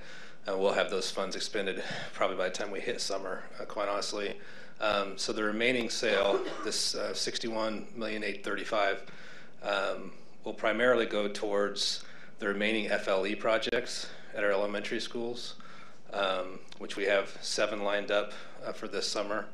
Um, uh, that's really kind of the big stuff. Um, we still have a lot of asset preservation uh, funds that we use, so um, pavement um, replacement, roof replacement, um, just things like HVAC replacement. So those are still going to be ongoing. Uh, that's another pretty good significant chunk. Yeah, the Blue Valley Academy. Um, there's $3 million to go towards uh, renovations to that facility uh, also. We have uh, a pot of money for career and technical education projects that we're still working on a plan of how we would uh, spend those funds. But um, uh, right now we're talking about going into middle schools and, and updating some uh, FACS rooms and um, trying to modernize those spaces. So, yeah. Oh, and timeline-wise, um, by the summer, end of summer of '23, uh, we should be 95 plus percent done with all of our projects. Any other questions, comments? Do I have a motion? I move that the uh, do, do, do. I move that the Board of Education approves the sale of Series 2022-A bonds as presented. Do I have a second? Motion by Tom, uh, second by Jim. Any discussion? Seeing no discussion, all in favor, raise your right hand. All opposed, same sign. Motion passes 7-0. Uh, The next item is curriculum and instruction update, mathematics. So a so a couple of months ago, um, Patrick, you talked about uh, kind of coming out of COVID and, and refocusing uh, the work that we're doing. And this is one of the areas we talked about uh, mathematics. And uh, Kelly and Holly are going to share with you the work we've been doing because we haven't just been sitting idle around any of this work. Um, and they're going to um, share the amazing work that um, these two have led throughout our district. So I'm going to turn it over to Kelly. Good evening. I am here with Holly McCarty, our district math coordinator, to talk about a lot of work that's happened over many years in the area of math. So um, I want to point to this kind of driving quote um, behind all of our work. And it, it, it spoke to us because it says students deserve rich mathematical opportunities to be learners, doers, and sense makers of math. And almost everything we've done to this point really has has been in, in service to this goal that every student gets a great math um, opportunity. So I wanted to show you a timeline and just go through rather quickly some of the activities we've done since uh, 2017 and 18. So uh, the timeline is stretched out a little bit. COVID gave us that that little curveball, but um, we have made a lot, a lot of progress. So beginning in 2017, 18, and through um, last year, we did a ton of research and planning and training. So um, in 2017 and 18, we began began by um, reading books, and we went to some workshops in Stanford. The NCTM, which is the National Counselors of Teachers Council of Teachers of Math, math the most, uh, the largest, and probably um, the top math organization in the country. Um, their conference is amazing. We attended that, and um, some KSD workshops.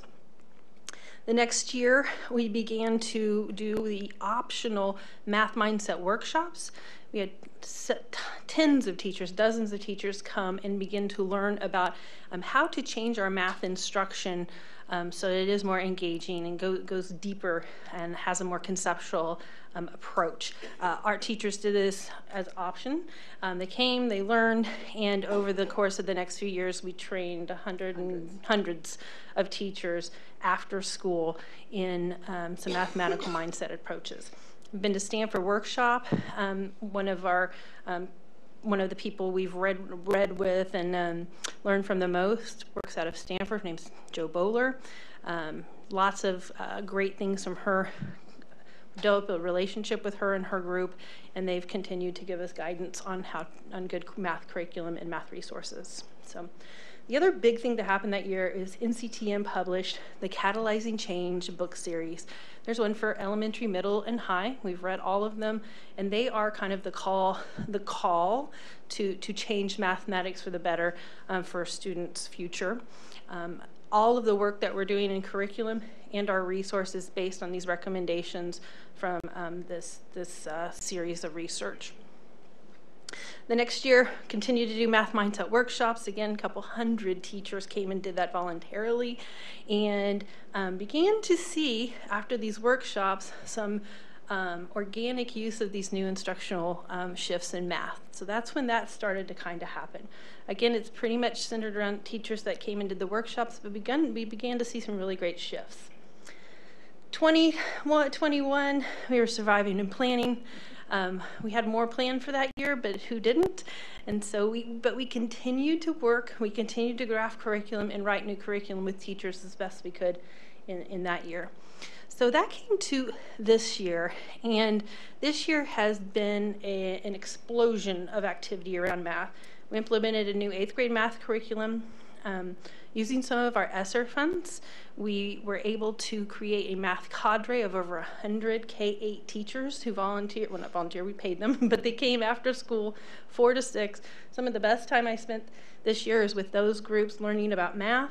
Um, there were three people from every school, and they went back and were the de facto leader in, in their schools around math.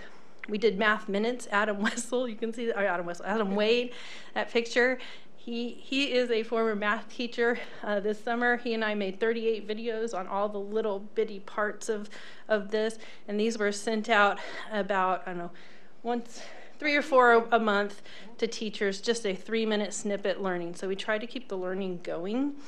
Um, we finalized curriculum, and we went through a huge adoption process that Holly and her team led. Um, we had some de facto pilot classes, which I'll talk about in just a moment. Um, and then the thing that's happening most recently in April, all K-8 buildings will have a math fun fam family fun night. And um, those have begun, I think Harmony Elementary is tonight, and we've had a good, good response in those. And we have a quick video. Do I click? Okay, there we go. About the math night. What does it mean to teach and learn math in Blue Valley? If I walk into a classroom in any one of our schools and any one of our grade levels, we want to see active learners of mathematics. We want kids to be the learners, the doers, and the sense makers of math. And in order to do that, kids have to work together. They have to have rich problems that allow them to think deeply about mathematics. And if it's a really good task or problem, I should need to work collaboratively. But when you go into that classroom, you're going to hear noise, you're going to hear excitement, you're going to hear kids working together. They may be all around the room, moving in different directions. It's not what you're probably going to see or what you might remember about sitting in a desk and just taking notes or doing a worksheet of 20 problems. So tonight we are having families come to school and we have a bunch of different math activities. I think it's really exciting as an educator to have this opportunity because we get to see parents and students engage with math in a fun and exciting way. Previously, you know, parents were taught that, you know, you memorize these things and memorizing multiplication facts. And so this shift is to help, I think, ultimately prepare students for the real world to be able to apply concepts more. I mean, the greatest thing about math is that it is so hands-on and there's so many opportunities to have manipulatives in their hands and to be able to create and discover and just embed it in so much of what we do in kindergarten and how we play. And so just to see them being able to take something that's learned in a math lesson and just apply it throughout everyday life and them just cheering and being so happy about it being math time really shows just how engaging math can be for the kids. Jake in the communication department put together for us. We'll pop it up on our uh, Learning uh, Connection website. But it gives you a good, a good, you know, math is a, is something you do. And in that video, I think it was very evident. It's something that kids engage in. It's, it's, a, it's a collaborative thing where people can learn from one another in the process of all this, multiple years, workshops, a couple hundred teachers trained, IDCs, super jazzed about math. They, we, we, we came to have some, we called them pilot classrooms, but they weren't official pilots. They were de facto pilots because we had groups of teachers who attend these workshops and then go, hey, we're going to try some of the, the, that stuff and they'd get their principal involved in supporting and their IDC. And eventually we had these kind of little pockets where this, this type of mathematics instruction and learning were happening. So um, here's just an example of what the, the shift looks like and feels like. So this is an activity from a fifth grade classroom around, um, around solids and, and volume. So you can see it has the target, and the kids are very clear about their targets. Um, and, and it, it clearly states what they're trying to learn mathematically. The great thing about this approach to mathematics is it lets you integrate skills. And like Holly mentioned on the video, it's not a, a, set of worksheets. Um, it has different skills that you work in. So the listening speaking component of ELA, this teacher chose to talk about the skills they're developing in students with respect to a collaborative discussion. This is a life skill that we want all our students to leave with, and this is worked into a math lesson. Additionally, you can see there's more things uh, around relationship skills, social awareness. These are life skills. Um, communicate clearly, value and respect people by showing them they under, understand their perspective, effectively uh, manage my time, and then manage myself and emotions. These are all fantastic skills that this teacher, not only are they teaching the math concept, they're teaching these life skills in the context of this math activity. So that, that, that's how it can be, how different skills can be integrated.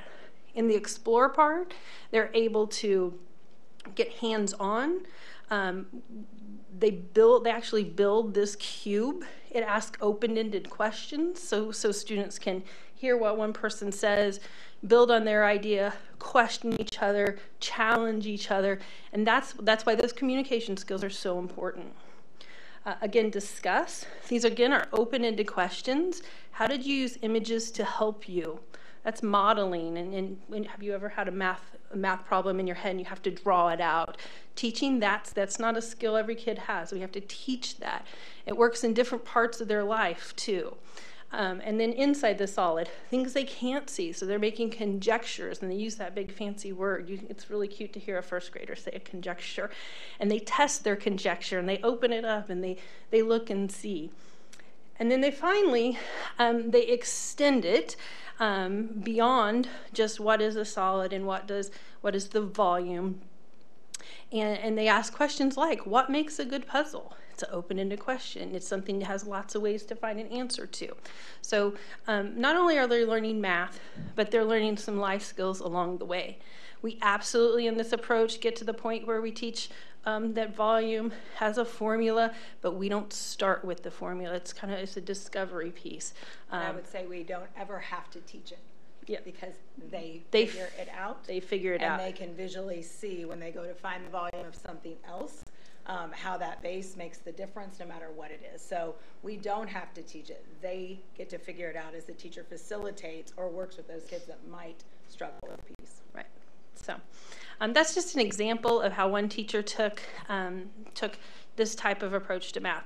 Um, I'm going to show you some data. I absolutely will give that it is cherry picked because we have an N that's small. But there are um, the, the, classrooms that we know about that were kind of taking math in this approach. We went and pulled their data and compared it to other classrooms in that same grade level. So again, the numbers the numbers, the N is smaller, but um, here's what I have for you. So just to, so you know what you're looking at, fall 2020 to spring 21, so this is last year, beginning of year to end of year, third and fourth grade.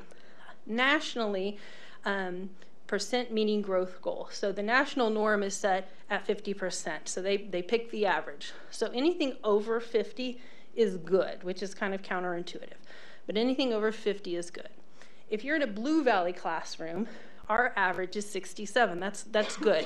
NWEA would say that is a good that's a good score. So if you're in Blue Valley, you kind of get a you on average hit about 17% higher than a kid nationally.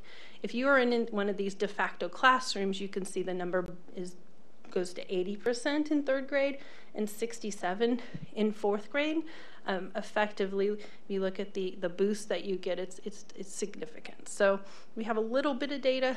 Um, here's another bit of data that we're collecting with these pilot classrooms.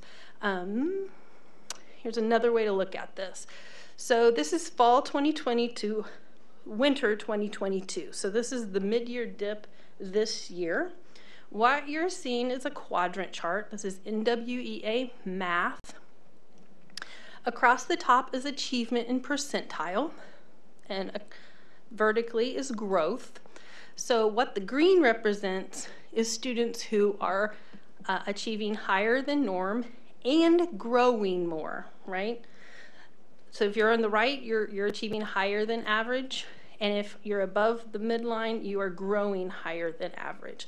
So the best case scenario is that kids are in the green. Kids that are over the vertical line are growing at a good rate. So we want to see kids over that vertical line and the horizontal line, we want to see kids to the right of that.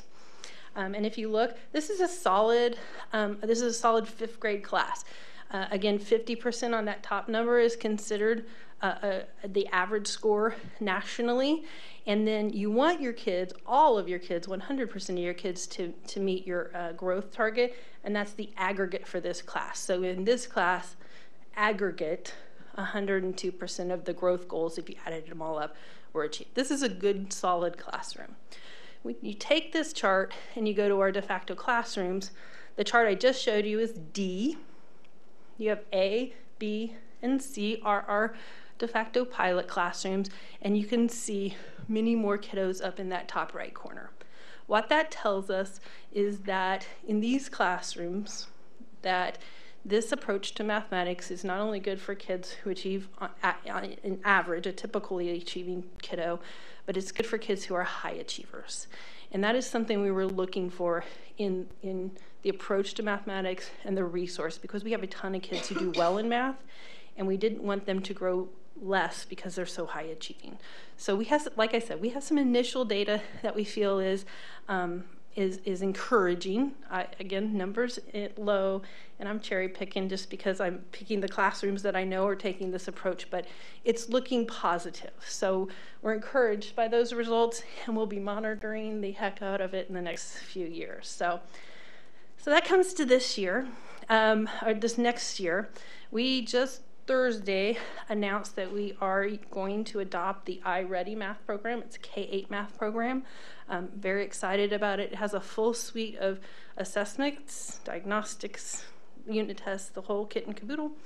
Um, a core, good core program that aligns with the approach we're, we've been teaching for a while, and then an intervention piece. So, um, and again, we're going to use all those manipulatives. Um, we have a great team working on that. Um, so we'll have a new K5 curriculum and K8 resource. And then our our efforts, a lot of our efforts will shift, shift to um, implementation, which honestly is probably the harder part of all this. So uh, we still have a ton, ton, ton of work to do.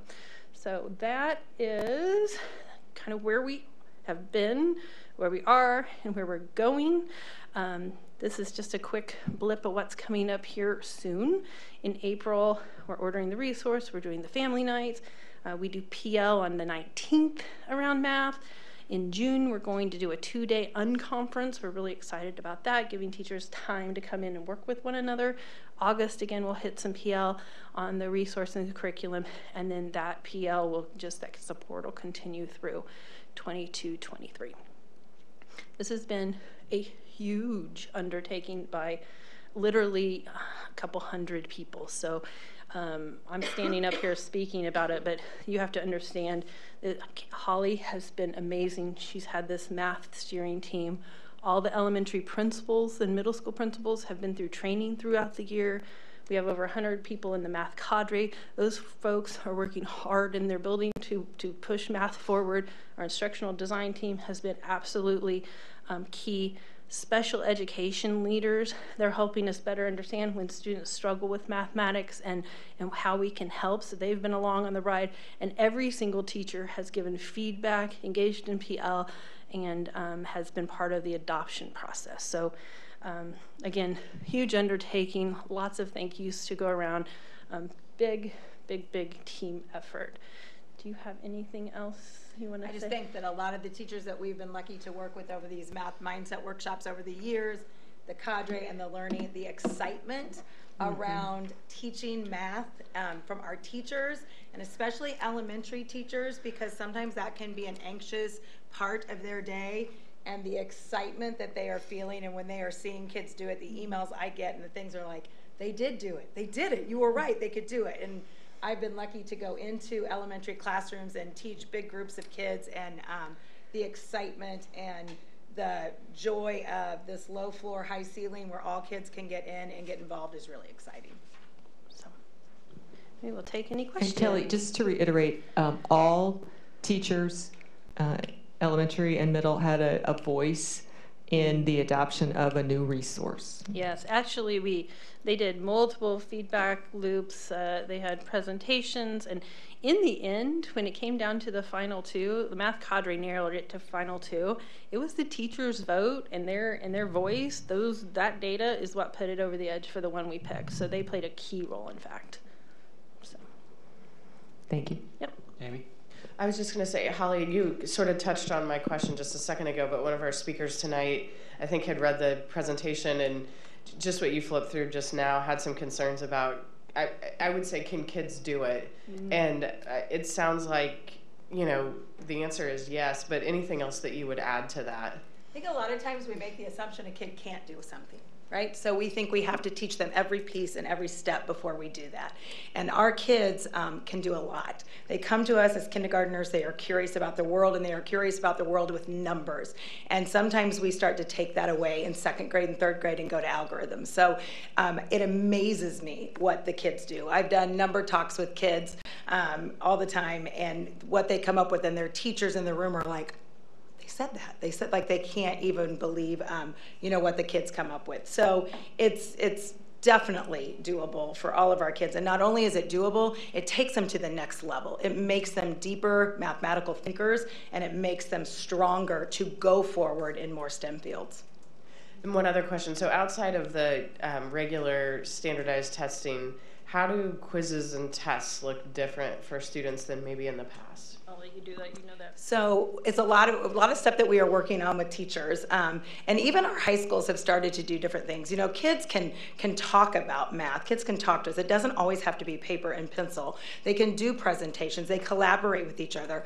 If you're working on something in mathematics and your overall goal is what you want them to have at the end, you can have them present at the end and give them a whole, you know, a different problem that they're not mimicking your steps to just get done, but they're having to use what they learned in order to solve a new problem. So it is part of our assessment, and with our new um, resource, iReady, they have some great things. All of their um, questions that they have are done by standards, which is very nice, so that we can pull those and work with our curriculum. But again, it's continued process as we continue to understand there are other ways to assess, and the combination of both is what's key. A lot of perform, a lot of performative type things, so giving problems and having kids solve them. Is it difficult for staff sometimes to make the transition? You know, it, it definitely is a change. They move really from a, a to, into a facilitator. We're asking questions and getting highly skilled at asking questions and um, anticipating misconceptions becomes kind of their role. The good news is the resource iReady very much supports that and gives them what they need to be able to do this type of approach. Um, I think without a quality resource, it'd be it would be challenging. I think the resource will absolutely make a huge difference, and I'm pretty sure that's why the teachers picked it. And the professional learning that we've Yeah, also done, yeah. because it's not like it's, even though we're going to implement the curriculum this year, the vast learning has been going on for years. Um, Mm-hmm. and a lot of the teachers will have me come out to do a lesson because they just want to see it. And afterward, they're like, I can do that. Mm-hmm. And once they feel it with their kids, it's pretty much all it takes. I would say one thing that has made all the difference in the world is coaching. So we've trained the instructional design coaches ahead of the teachers, and they are in the trenches side by side working with them. So um, huge shout out to the instructional design coaches who who have made the difference for our teachers on this. Yep. What else? So, um, there, I just have a few, make sure I understand kind of what the trajectory is here. Mhm. So I had done, when I saw this presentation, I just did a little uh, background reading on catalyzing change and what drove NCTM to, to, um, you know, uh, write those, those work, those books. And, um, I'm interested to know whether this is the direction we're going because my understanding is is that one of the objectives has been of NCTM was to to end the tracking, Mhm. early on tracking of poor math performers and higher math performers as early as elementary school, um, so that even like say sixth grade, you got kids that, that are you know already into algebra two at some schools around here. My daughter was, um, and she was like alone in a class. And then I've, but I've, I've had, you know, poor math uh, students in my, and so that, what I understand it is there's, there's really, there's moving away, particularly when you get into high school, no honors classes any longer. At least that's the way this is, is one of the, the objectives. There might be an honors designation, but you group everybody together. There's also, so there's not as tracking of students, but there's also not tracking of teachers, where you get the worst math teachers teaching the, the most struggling students. Mhm. I'm just wondering if that is, because that's an interesting theory. You know, I I mean, I, I'm interested to know if that's where, where you, you see it going. You know, um, I think we're going to have to wait and see. I think it's really important to meet the needs of our kids in our community. So we have two different tracks for math with with um, advanced and and and on level. Um, we are hoping that this new approach to math serves students better at all ends of the spectrum. And when that happens, we're hoping to have the conversation about does it make sense for a sixth grader to pick their math track for the next six years of their career when they're 11? Or is it something we wait and then it becomes more, uh, more um, you, you pick your path more in high school. So I don't know that we have it predetermined, but we are hoping that this approach to math um, serves our higher achieving students better. There's lots of cases. I'll talk to parents where they're higher achieving students, and we'll we'll talk about differentiation, and they continue to say, you know, my kid's still not being served well in the on-level math class. I want to talk about, you know, going to that next level. When Holly said low floor, high ceiling, that's exactly what this this conversation is about. Is helping teachers realize that um, all kids can work on the same task, but you can take it to a depth. And so. Um, I think it's yet to be seen, but you're right. The um, NCTM advocates for no, no like middle school, two levels of middle school. Um, I think we're just going to have to wait and see um, if that's something our community and our teachers want to consider or not. So just a few other uh, questions on this. So a lot of our um, students in the district do a lot of math after school. You know, it's like instead of going to baseball practice, they go to Kumon or Math Monkey, and it's, it's pretty. That's a most of those programs are pretty traditional. You know, mm-hmm, very much. Do a gazillion problems each day and drill it into your head, and then go on you Saturday morning, etc. Um, you know, you know, I'm, I'm, my guess is those are the best performers later on in our schools. Um, I just, just looking from my my own personal experience, mm-hmm. but I'm just wondering how how you. I mean, I, how does this like stack up to that, and how is it different? And so I would say what this does is it goes for depth, and we have a lot of students, particularly in upper elementary, that are good math performers, I think what Holly would say, where they know they know the algorithm, they know how to add fractions, but they may or may not understand the underlying conceptual pieces of what it means to have a fourth of a half. And that that's an eighth. And so, um, whilst a lot of kids are very successful in that, we also see a, a, a large number of students who do accelerate and get to high school and are lacking a conceptual understanding because maybe they accelerated too quickly. So our goal is to have a very strong conceptual understanding as a basis of the math program. Mm-hmm. Memorization can only get you so far. Yeah. Um, and as a former calculus teacher, you can you see that. Um, so it doesn't it doesn't mean that Math Monkey or the other places are bad. Um, it just means are they just learning a procedure to move on? But never really understand why they're doing something.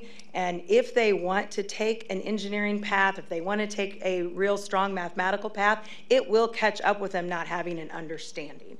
Um, I've, I've seen it. Um, but more importantly, it's math is so much more than a rote problem. Um, we look at our data science in the world today and these two new fields that are coming out that kids have to be able to analyze and problem solve and work. And there's no one little formula that just is going to work. So there's depth. The depth is very important. Right. Well, I mean, I'm, I'm a big believer that the, your best uh, writers are people that are good at math because they just learn how to think, and they do it. You know, the younger you, you get it, the better. So, you know, I I believe in that. The other thing that I, understood, at least from some of what the NCTM was was trying to get at, was um, U.S. stinks in terms of its overall comparative math performance to other countries. Um, and I, there's a lot of reasons for that. We're a big, diverse country, but um, I'm wondering if if this approach is taken in other, in you know, like Japan or China or, wherever the best you performers are. Speak to that, yeah. So, um, in, for instance, Japan is one country where if they go into a high school math classroom, you will see usually one problem on the board, one problem And that is what the kids will work on the entire class period. The teacher is facilitating, the teacher is not up at the board having kids take notes. They are diving into a deep problem that they are doing. So when we talk about kids being the learners and doers of math, they're the ones doing it. On the flip side of that, you have to remember sometimes you're comparing apples to oranges because um, in Japan, for instance, they track very young. And so once they get to a certain point, there's a test that they take, and if they don't pass, they go this way or this way. So you're looking at numbers that are a little different because we don't do that. So you have to take the whole picture there and look at it. But yes, other countries do it differently. A lot of other countries do it our way also, but we are the ones that are towards the bottom. Yep, I, th- I would say that the countries that we we actually looked at some, the ones that are the higher are, are going towards a conceptual understanding of math and not a memorization um, basis. Yep. So, lots of math. Anybody else? Um, is this the program we purchased last year? This big one in our memo? Nope. No? Okay. I was just curious. We, we did not at- purchase it last year. No, it, it was in your consent agenda tonight for purchase. So if you saw it in the packet year. to, for next year, the iReady Curriculum Associates, I think is the name of the Mhm. vendor. And it, it is used by locally Spring Hill. Spring Hill. Anybody else locally? Um, not like Geary County, Spring Hill, Manhattan and other ones out Manhattan. there. But yeah. So it's actually super, it's coming on strong. Coming on strong. So, anyway, anybody else? Thank you both. Yep. Thank you both. Uh, We need to let our closed captioner take a break, so we're going to take a five-minute break.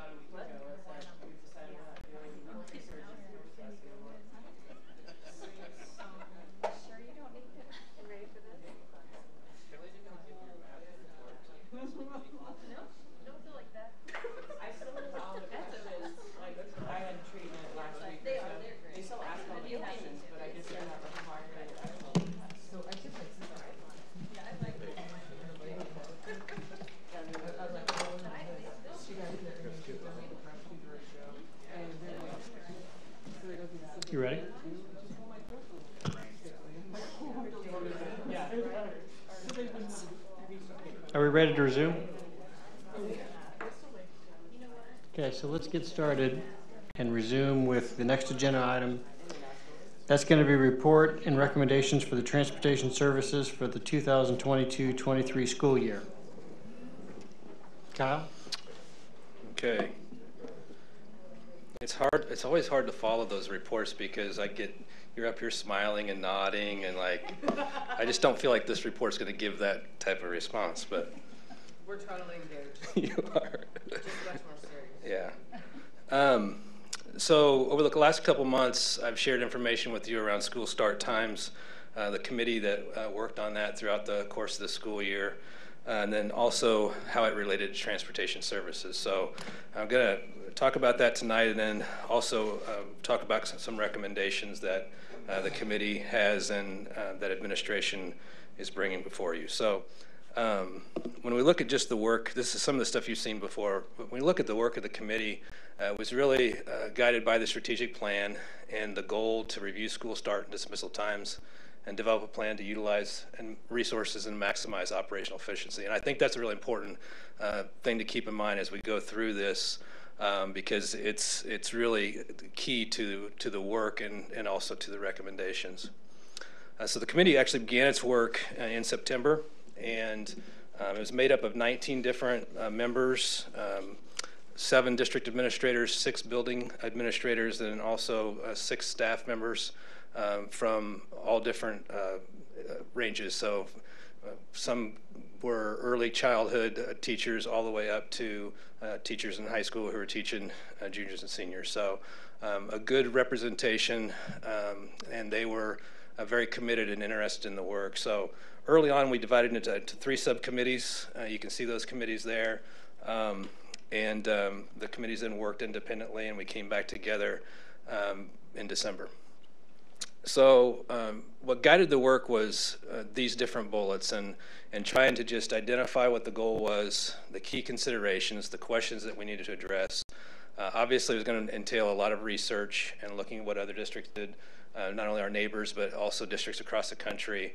Um, we wanted to look at districts that looked like us, too. So we have uh, districts that we've used before when they did the middle school study, and those same districts that we pulled uh, information from. Um, from there, we wanted to develop solutions, obviously, and, and come up with um, making sure we identified what the strengths were, what the weaknesses were, what opportunities were there, and then uh, what the threats were, um, and then consider each one of those things and how they impacted the staff and, and students and families. The common learnings, um, quite honestly, became troublesome for the committee because most of the solutions really negative impacted the system. Um, and um, it impacted students and impacted families negatively and impacted staff. And, um, and a lot of the options just failed to present any type of efficiencies, uh, which obviously went in direct opposition to the goal. And so uh, when all three, it was interesting when the three subcommittees kind of came back together and we looked at that matrix that we had talked about on how we were going to determine uh, solutions and recommendations, we all had a very, very similar approach, even though we had worked independently. And a, a, a, kind of a conclusion was the existing problem around busing in our transportation services was really hindering any type of progress we could make um, when it came to changing start times, um, when it came to being more agile uh, with our system. And so uh, but we needed to really address that, that busing situation. And I want to say there, and to kind of pause for a second, because um, the more I reflect on, on this busing situation is uh, the more I think about that although the situation, you know, is more dire now for Blue Valley and I think for um, school districts across the country. It was also an issue pre-pandemic. Um, it just wasn't as significant and it wasn't impacting and stressing the system so much. And quite honestly, in, in 22 years as a, a school administrator, I don't know if I've had as big a challenge um, in something that you're faced with like persistently and pervasively on a daily basis. Um, and you and it's and to the point where it's difficult to, to, try to pivot and make some quick adjustments and figure it out. And so that those are just a couple of things. And and then the other one is um, we think about you know we get kind of talk about the complaints coming to district office and those types of things, but there's a daily stress that's been um, on our staff that I think has to be recognized here. That that you know, and I guess I'm, I'm I personally do my best to try to protect them from those types of things because especially on the finance and operations end of the system, um, we want to do our best to make things run smoothly for them so that they can put their focus on their kids and student learning. And what's become very apparent is that uh, because of the situation, you know, kids are are late to school and they're missing learning opportunities, and um, and then they're late to get home, and that disrupts the family um, on the back end when they're trying to get to other activities and have family time together. Um, we want to talk a little bit about the state of transportation, and then also talk about what types of things Durham has done to try to address the, the issue, and then what types of things we're trying to work with Durham um, in the future to, to address the issue also. So I'm going to turn that over to Jason uh, Gillum to talk about uh, some of those things.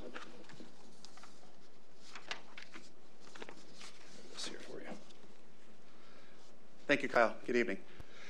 Uh, the slide that you have before you kind of gives you the average of what we've been facing daily uh, this school year.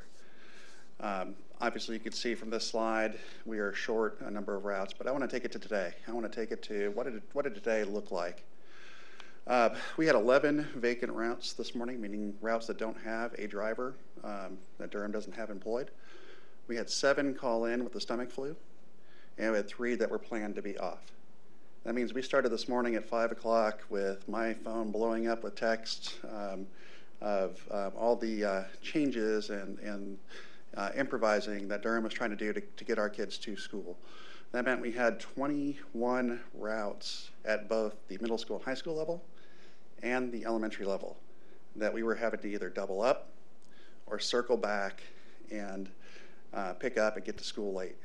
We had a number of kids late to school today. It's not unique. We've been battling that the entire school year. And something needs to change. We, we need to do something um, significant and several things significant to help bring the improvement necessary to get these kids to school and get them home on a consistent basis. So that's that's really what I wanted to share with you today about the state of, state of transportation. Although our average has been about 15, today was 21, and we really felt that. Um, so talk a little bit about what, what Durham's doing. So you can go ahead and go to the next slide. Oh, thank you. Jason, what time do those kids get home? So 21 routes. What time was? I know we all, you always have like the last we get a notice once everybody's off the bus. What Yeah, time is so that I- at? We, we tracked that uh, in terms of the last kid got delivered home today at 5:03. Okay. So So back back in the day, was it I don't know 4:15, 4:30? um, on a good day, we are probably about 4:40. Right now. If, if, if we had better staffing, we'd be about 4:40. But right now, right now we've been The goal is an hour. Okay. Yep. Thank you. So, talking about some of the things that Durham is doing. So Durham um, is aggressively trying to recruit drivers. This is they've been doing this all year. The corporate team has come and said, "What what can we do?" Ask the local managers, "What can we do to help support you?" Uh, they they said we could use some money for bonuses. Um, They've been paying a thousand dollar referral bonus paid to both um, individuals and entities. So they've they've gone out to civic groups, churches, and said, "Hey, would you help us? Would you partner? This is a this is a way to help your community. We'll pay you entity the the thousand dollar referral bonus if you help us find people." Um, they've offered sign-on bonuses for non-CDL drivers of $1,500 and then $3,000 for CD, current CDL holders that come over and transfer over and stay um, with the district.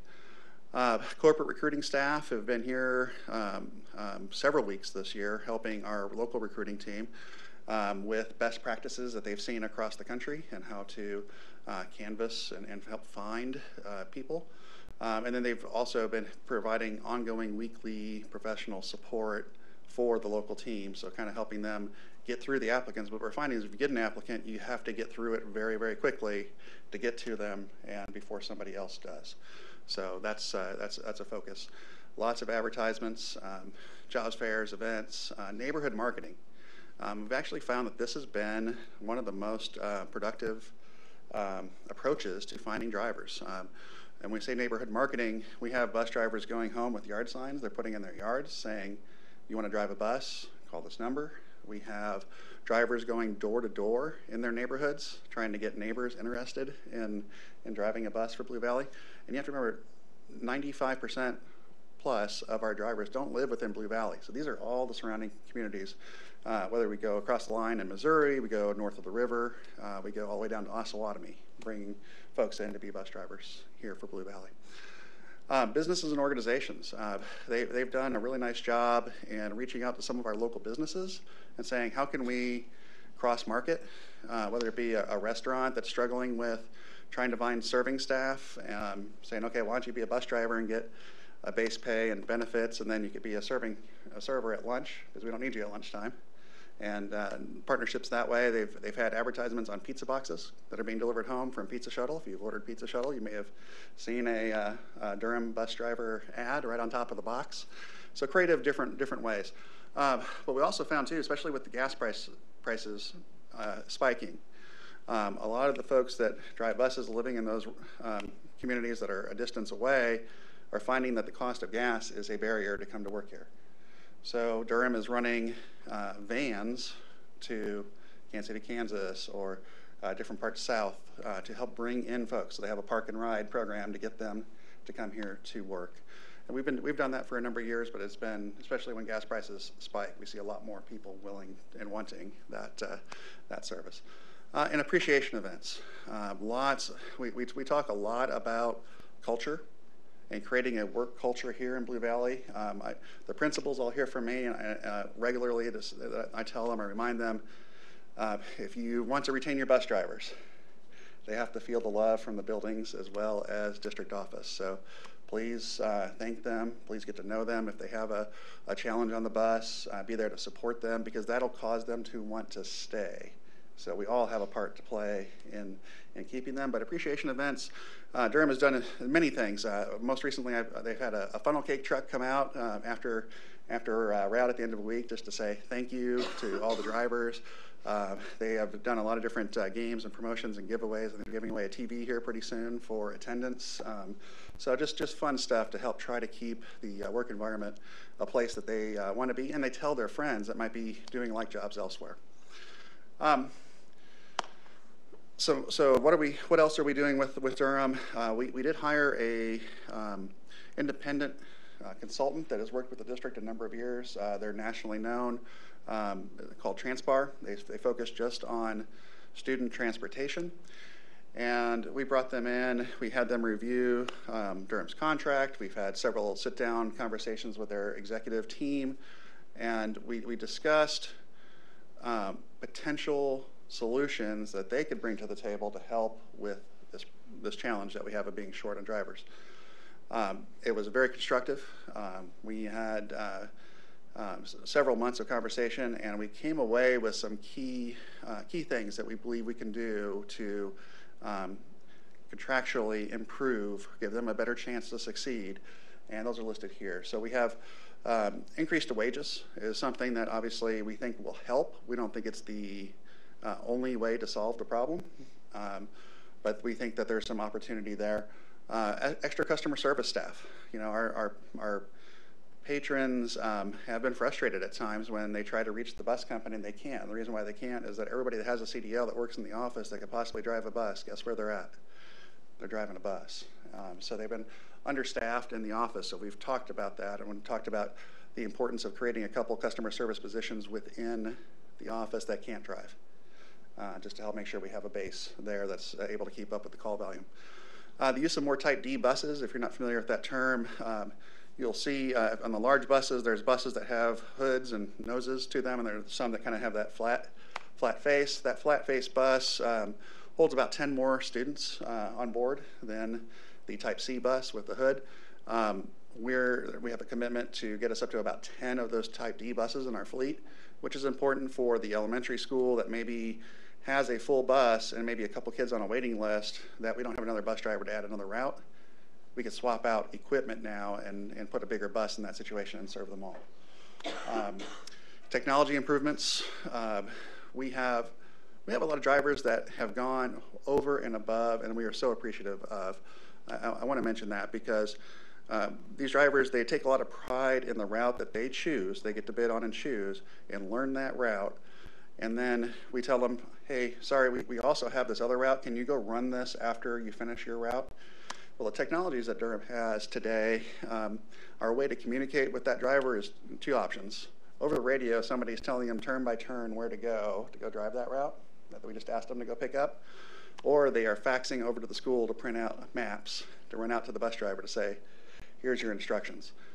We need to, we need to advance that technology. Um, we, we pushed hard and they've come up with a tablet solution um, that, that the assignment could be sent straight to the bus with instructions and directions. We believe that'll help with retention um, and burnout. Um, and then Wi-Fi connected cameras. So we have uh, um, a camera system on the bus today, uh, but we park buses in five different locations in Blue Valley. So if a question comes up and we need to go get the information, somebody from Durham's office has to go out to one of the five locations where buses are parked, pull a hard drive, and bring it back to the office to search through video. Too much effort is being made to kind of help solve those questions when they come up, and they come up on a daily basis. So um, those are some of the uh, additional efforts that we're working on through a contract modification. Um, and we've, uh, with Transpar's help, we, when, when, analyzing the contract, we have uh, a max age of a bus of 12 years in our contract and an average age of about 6.1 or 2. Um, and looking at the next couple years, there's no buses that have to be replaced. So we want to take advantage of uh, a couple years of uh, not having to replace buses to be able to afford some of these key improvements uh, that are necessary. So um, that's the contract modification that we've been talking about and Transpar's recommending that we, we act upon. So we'll, we'll be back next month with that. Okay. So, as Jason noted, um, even with all these different efforts, uh, we still believe there's going to be a, a, gap for us to fill um, in trying to, you know, overcome uh, the deficits we're in now. But um, step one that the committee really identified as, as a positive measure that um, was really kind of a minor tweak to some schedules. Um, high school start time uh, would remain the same, um, but the school day would end 10 minutes earlier, and um, they've just identified some places where they could do that. It wasn't actually what a year or two ago before they just extended it 10 minutes, so I think there's retreating from that. But um, uh, middle school would be 10 minutes later. They're currently at 7:41 start, and elementary would be a five-minute uh, switch from 8:35 to 8:40. Um, the idea behind that is by uh, staggering high school and middle school by that 10-minute or 11-minute time, it would allow for some more combination routes. We already do those combination routes, but it maximizes our opportunity to do that. To do that, um, and then the other thing is is one of the one of the factors we have to keep in place is, is maintaining this 45 minute window between, I call this tier one, which would be dropping our middle school kids off and then going back out, the same bus drivers going back out, get the elementary kiddos and get them to school on time. And then the same result with when it comes to um, getting them home. Um, this results in an estimated reduction of five to six routes. Um, next thing I want to talk about is is what state statute is versus board policy, and then uh, Blue Valley's practice. So, um, the state statute says that uh, you're required to transport students who live 2.5 miles or above uh, from their school, and it's the most direct route. Um, is how that's identified, and we receive funding uh, for that. Um, the Blue Valley practice is not only inherent to the statute, of course, but it's also providing a pay rider service uh, to uh, families who want to take advantage of that um, if they are don't qualify under uh, the statute. So um, the next step we believe that we need to do to position ourselves for success beyond just that schedule change, beyond the recommendations from Transpar, is reducing this pay rider option. Um, so the recommendation that, that really the, the committee res- wrestled with on this was, um, you know, we know that the change in start times is not enough. We know that these contract improvements um, should help, but probably won't dig us out of the hole. How far can we go uh, with a recommendation or need to go um, to make sure that we're going to set ourselves up for success and make sure that kids don't continue to lose instructional time? And this was the recommendation that um, appeared, which was um, removing the pay rider service for high school and middle school students who are less than 1.5 miles unless they're qualifying for special education transportation services. Right now, it's estimated that that's about 515 students who would lose um, transportation. Um, should note there that there's approximately uh, 1,250 students who uh, have their transportation services probably interrupted on a daily basis. So there, there's that many students who are being negatively impacted typically. And we also have a total of 6,000 riders. So beyond just our pay rider system, uh, the total number of riders is that. So gives you a little bit of an idea of, of what we're talking about here as far as total numbers of students impacted. But this gets a reduction of, of nine to 10 routes, um, which when you start to think about what we were talking about earlier, when we have an average of 15 but could see spikes of 20, 21, um, this puts us in a closer position at least to be successful day to day. Um, the other thing that uh, typically this you'd see this on, on the consent agenda would be the adjustments to pay rider fees. We didn't put that on there intentionally. We wanted to embed it in this presentation because it just made sense to talk about this holistically and, and have this as another uh, recommendation in motion. So um, it, it's a it's a minor change as you can see here, um, but it primarily has to do with um, um, changing it according to when pay riders um, sign up early, right? Um, so, as it states there, a supermajority of pay riders try to register by their early pay deadline. So, this would, you know, impact them just slightly.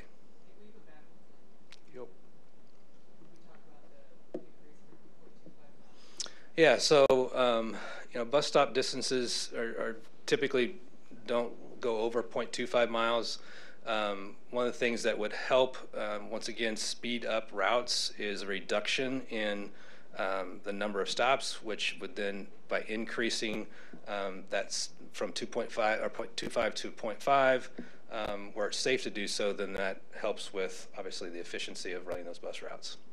So even if the bus went by your house, I know that that's always, you know, the question. The bus goes by and your kiddo gets to jog down the street. No, hopefully your kiddo's already ready and waiting for the bus. Um, but uh, there's no, because I think I think in the past what I've heard we've been a little flexible on that. Um, so that would be pretty solid. Even though your bus is going by your house, you got to be at the stop. Yeah, that would be correct. Yeah. And that would be my son. That would be one of those that would be running half a mile to do that. Yeah.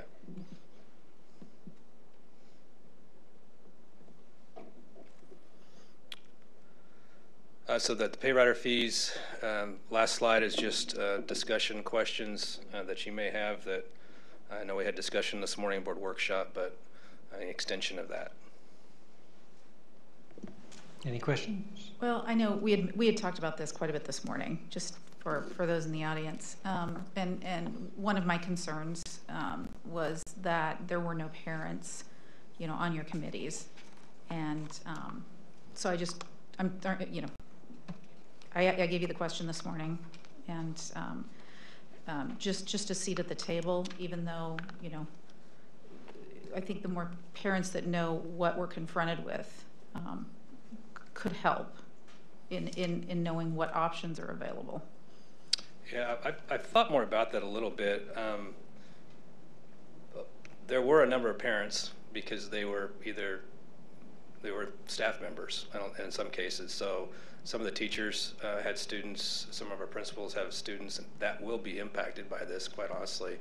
Um, and same with district office staff. So uh, there are some folks um, I also failed to mention, and you heard it in my Finance and Op- Operations Advisory Committee report, that it was discussed with that group too. Um, there was good conversation around that and, and decent feedback, um, but um, um, by and large, it was the, the response was, this is not fun. This is not you know something we believe that you know nobody wants to do. Um, but there was an understanding that uh, they understood the recommendation and why it was there. But point taken. And Kyle, what's our what's our turnover? And do we do we track that kind of a turnover rate? Yeah, so the attrition rate uh, for bus drivers in a typical year is about 25%. So that means we, we have to be churning a lot of new bus drivers through the system on a regular basis, and it takes quite a bit of time to get them all the way through, um, from the applicant stage through all the background checks, physicals, uh, classroom training, behind the wheel training, testing, uh, before they can become a, a bus driver. So we're constantly, there hasn't been a meeting yet this year that we haven't talked about. We refer to it as the pipeline. How many people do we have in the pipeline and what stage they're at because of the attrition? And then maybe uh, a follow-on question: What's the what's the current rate that uh, we're paying or Durham, through through Durham? Uh, the, the current starting rate is right about uh, $18 an hour, just under. That's the starting pay. And that's not for utilization, that's not for using their buses. We provide our buses and we just pay an hourly rate. Uh, no, it's their, it's their buses. It's their buses? Yes. We contract them, so, so we rent their buses, basically, or, I know we've got a lot of buses parked. Yeah, it's, they, they, they own the buses. Okay. Uh, there's, there's a lease component to it, but Okay. Yes. So the contract includes the leasing of the buses and the operation The of services. buses. Overall contract pays for it all. That, just so I'm clear, that that rate, eighteen dollars an hour, is what the bus driver receives. We pay probably some markup on that, or Uh, we don't pay uh, based on uh, employee hours. We pay based on routes performed. okay. but average. I'm just trying to understand, kind of, what does it mean to the driver? Eighteen bucks an hour gross is kind of at the starting rate. Correct. Starting rate. Average driver probably in the low to mid 20s. Based on And, seniority. and Durham has other schools in the Kansas City metro area, so my guess is that they pay, they have a pay structure for all schools that they service. Correct. It is, it is a negotiated agreement uh, with the Teamsters uh, Union, so it had been for, ever since uh, several decades ago, so. So our overall contract pays for everything, right? It's a lump contract, pays for it all. Whatever the salary is, it falls into their agreed upon contract. And Correct. obviously that could change through future negotiations we may have and other things Correct. going on. Okay. And I know that, I know it's been a tough time. And so again, this does not affect elementary schools, right? Correct. We- Or, or we- not affect, but your plan is not, It will positively impact elementary schools because the elementary schools right now are being negatively impacted by not having enough drivers to cover all the routes. But if we reduce the routes, um, they will be made whole, whole again and, and uh, begin the school on time. okay, so elementary is taken care of. Remind me, the neighboring district, does everybody provide buses to element, for elementary schools? Just of It's, it's been a, it's been a change. Uh, we're not the first to make a change like this. Uh, so we've, we've, uh, looked around at some of our neighbors. I know in Olathe today, um, if you reside less than a mile from home to elementary school, there's no transportation services provided. If you are in Olathe and you're a middle school or high school student and you're less than one and a half miles, there's no transportation option provided. Um, Shawnee Mission does it a little bit different. They look at it by boundary area and make decisions. In some of their schools, they say there's no buses at all for the school, um, just because of everybody's within two and a half miles that, that goes to that school. Um, Lawrence is probably another, another good example to give, uh, where they say, okay, the, the state rule is two and a half miles. We're not providing any transportation under two and a half miles. So So have we ever told anyone no? we don't like to tell people no. Uh, I, I know we don't. I yeah. just, I'm curious. I, you know, Um, in, in what way? do you ever put a, a threshold? You get your buses all set, you get your routes all set. Okay. And then, you know, Yeah, so we, we have uh, late ads. Um, so we have deadlines to sign up to register for the bus. So uh, we, we may tell them that if you signed up three days before school starts and the routes have already been established, and to add you would change the times for every other family on that route. Uh, we're- we're not going to be able to do that for the first day of school, but we will be able to uh, by Labor Day. But if they're two and a half miles or more, we don't have a choice, Jody. Yeah, we have, we have to add We them. have to add them. Right. So- We have to have time to, to work them in, but we do have to add them if they're beyond two But, and a but half. we treat the two and a half mile families as well as within that circle the same and, and, oh, and Yeah. work it in. Right, right now, I mean, some of the most difficult conversations I have with parents is when they, they call and they, they're the ones that are uh, being late picked up in the morning or late drop, uh, dropped off at home and they're beyond two and a half miles and they're asking, why aren't we prioritized over pay riders that you're not required to drive, to take to school? And I don't have a great answer for that right now. So that, that, that question comes up, that's come up by several parents.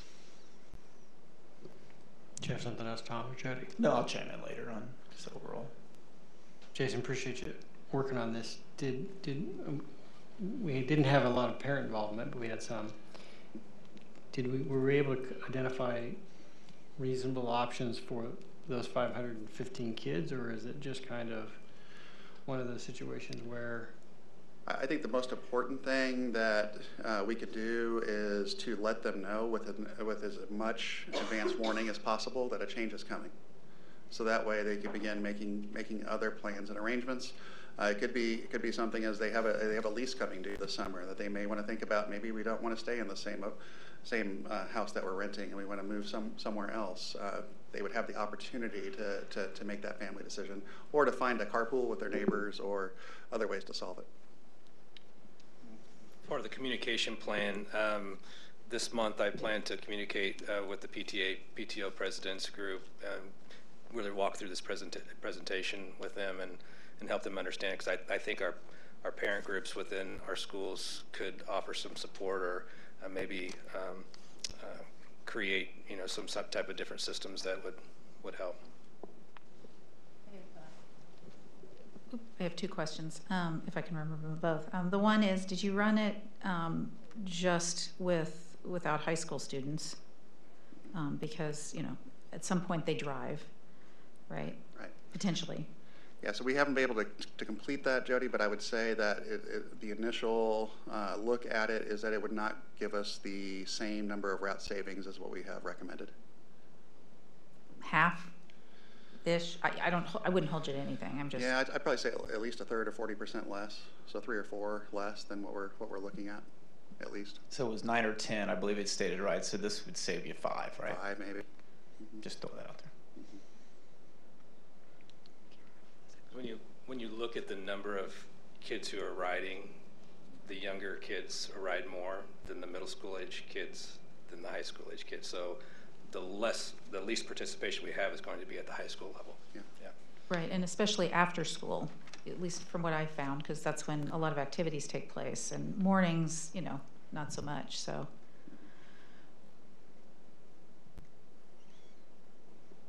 Uh, Jason, I want to appreciate the committee's work and, and all of the iterations that you work through. I know it's complicated, and I don't think this is an easy issue um, to work through, but uh, appreciate all that hard work. Thank you. Thank you. I know what I was going to ask secondly. Um, so is this, I mean, we, we know that, that all across the country, staffing shortages, uh, you know, i- i- is, is an issue, or are an issue. Um, but is this about, fun- I mean, we're constantly talking about funding, right? Is this fallout in some way from the funding issue?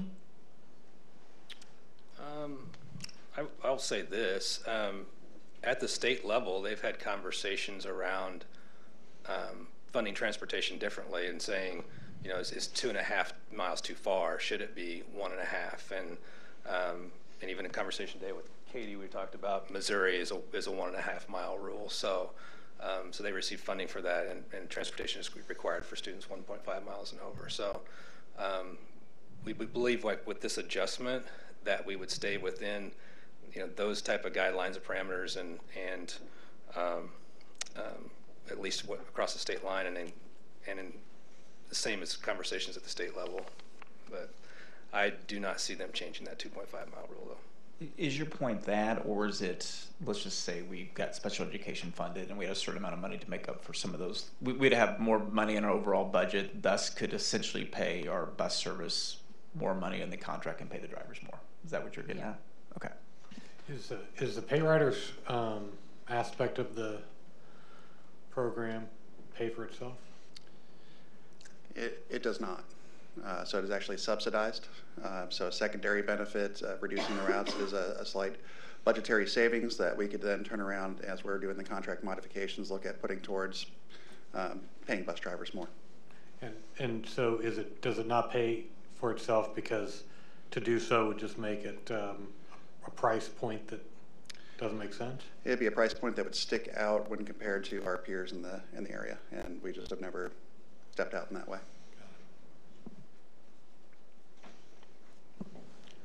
And as a reminder, this would not affect elementary, this would not affect anybody 2.5 miles or more, and it would not affect students whose IEP, their special education students, and their IEP calls for transportation. So we're legally obligated to provide uh, 2.5 and more, and we're legally obligated to provide anything that's uh, in an IEP, and we would, that would not, we would not touch those. Correct. It'd be, they'd be positively impacted.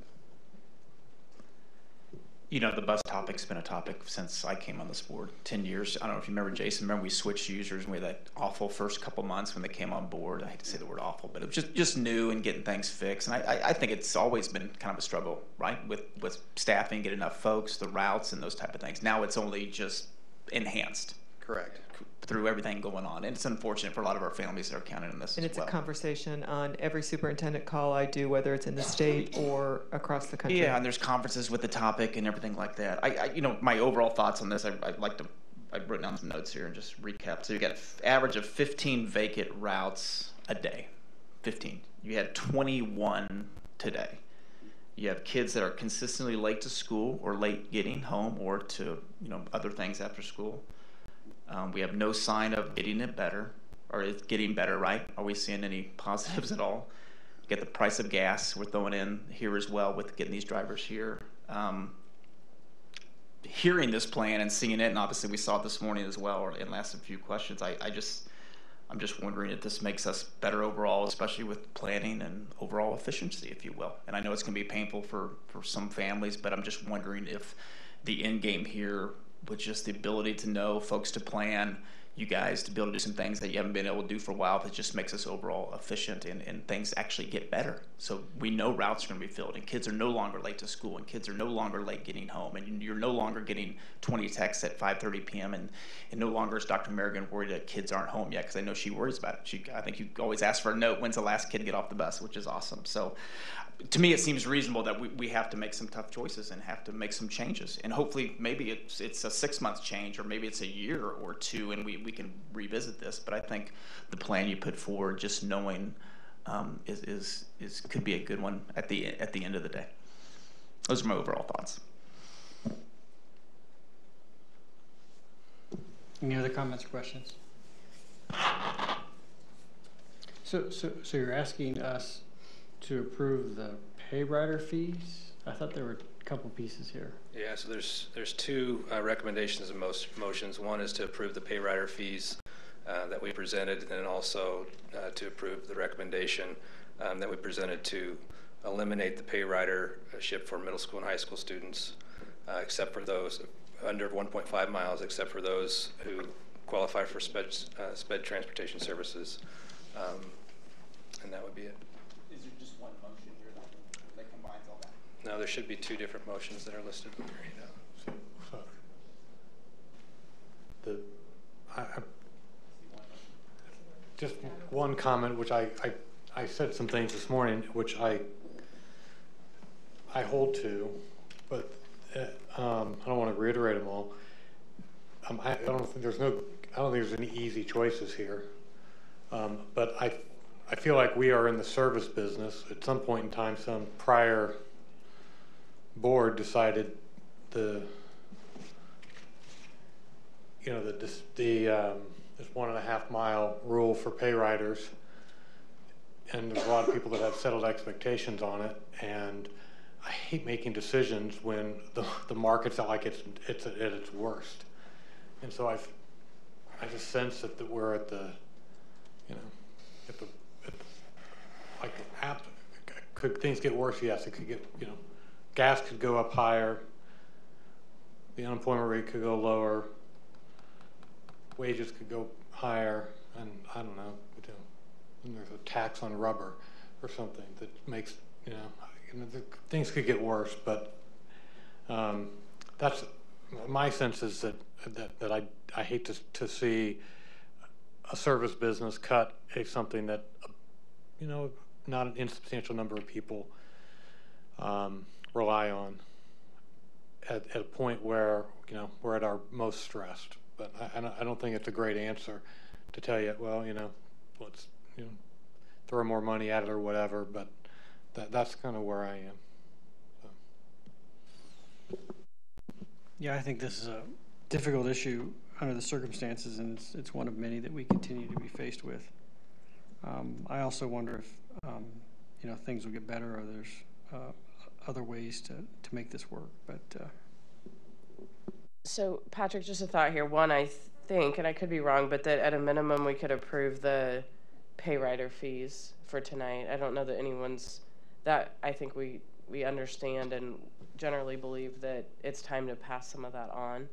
Um, so maybe we do that first. Um, and just for a couple folks that have mentioned um, not getting parental feedback, I'm just trying to process what, and and I and I follow what Kyle said as well, which is there were parents on that committee, so it wasn't like it was just no parents. But is it giving them more notice, or is it hearing of some idea that they might have that hasn't been thought of? I'm just trying to get my head around because I, think from the, what both Jason and Kyle have talked about from a parental planning perspective, sooner than later to be able to tell folks that this is in effect is important. Um, but hypothetically, what would one month buy us? Um, and I'm just thinking out loud a little bit just to make sure that I'm thinking about what you guys are thinking about. And uh, like Kyle said, he's going to PTA PTO here pretty quick. So, what what do you guys think? You're wondering whether that buys us a little more thought into this, or if perhaps it doesn't do anything. Or number two is, is it better off to give folks a little more heads up? yeah, I'm just trying to balance month? that in my head. Plus, Ex- our administrative team to plan this out with our bus service and other things. Is right. that what you're pondering? And I would say I don't think going past the May board meeting No. is an option for sure. And these two would probably say going past this board meeting is probably not a great option, but Yeah, I think we're all in 100% agreement. This, these are tough decisions here, right? I don't disagree with any. I, I agree with Jim's just thoughts here 100% on doing stuff like this and not knowing exactly what's going to happen. I'm just trying to give it a little more re- realistic approach that we know this is a problem. We, we're going to have to pivot a little bit somewhere, somehow. Maybe this isn't the perfect answer, but I just I think we got to figure out something. So to me, the biggest thing that I took away from tonight versus earlier today is that it's 1,250 kids impacted daily um, by their routes and making them late to school or late home. And this is going to impact 500, um, which is obviously we don't want to impact any, but with, with no change in the foreseeable future on number of kids impacted daily, this seems like a great option in contrast.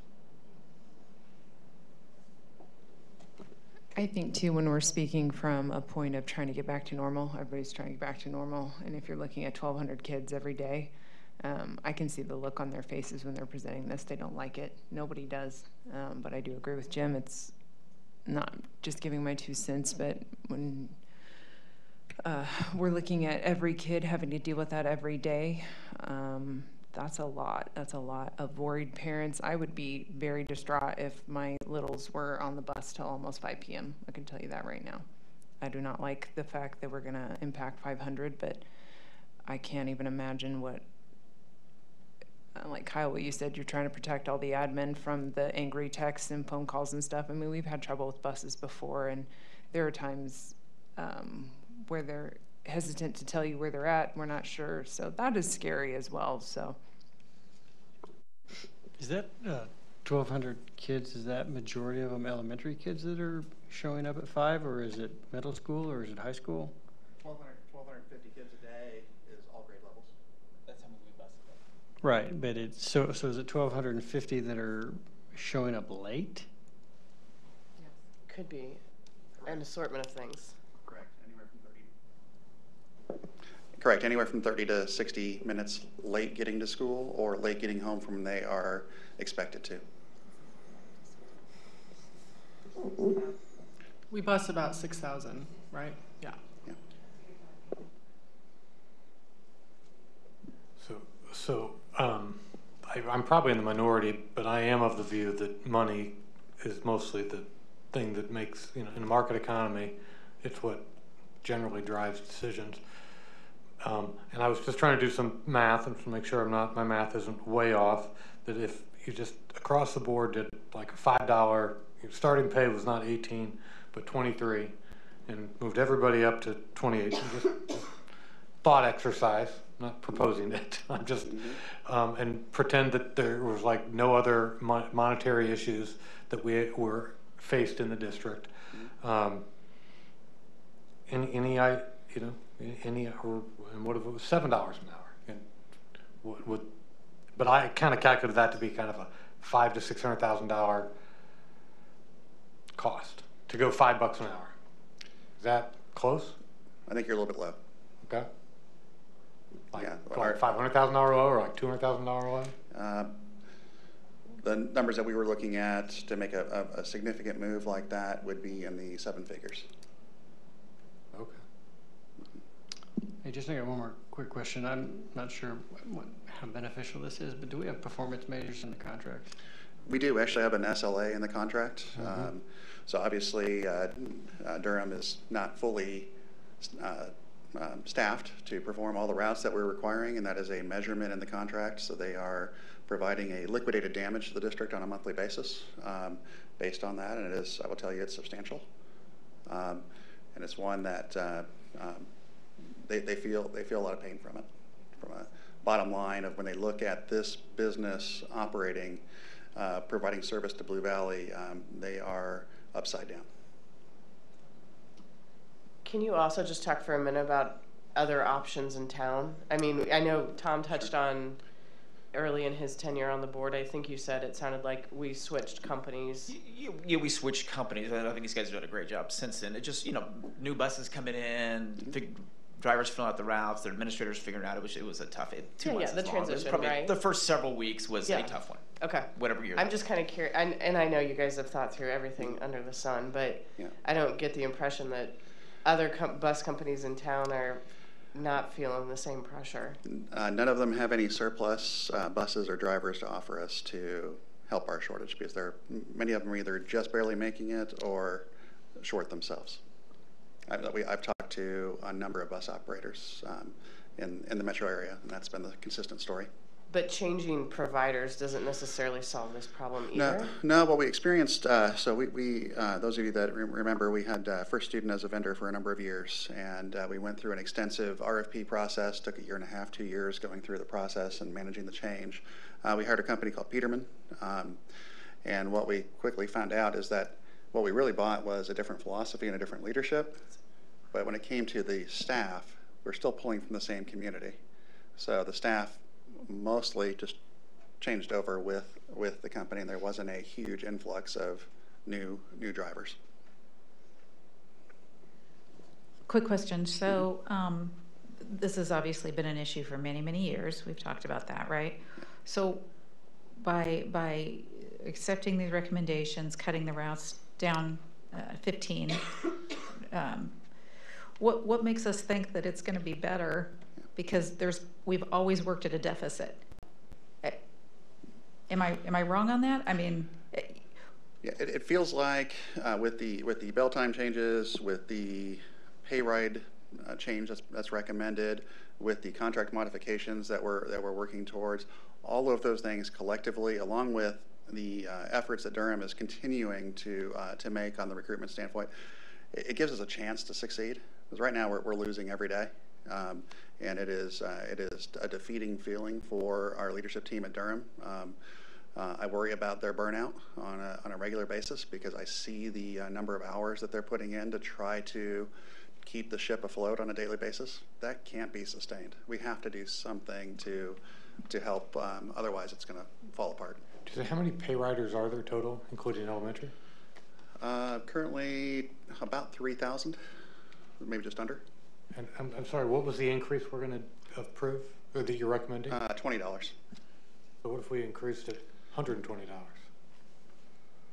Well, how much money would that bring in? Uh, $20 is generating roughly $30,000. Okay, so we're, We're not, we're not talking huge dollars. what if we were increased it two hundred dollars? Yeah. Would people pay it? I, I think we'd hear from a lot of families that would struggle with that. Yeah, there's some that could and would. Yeah, elementary, right.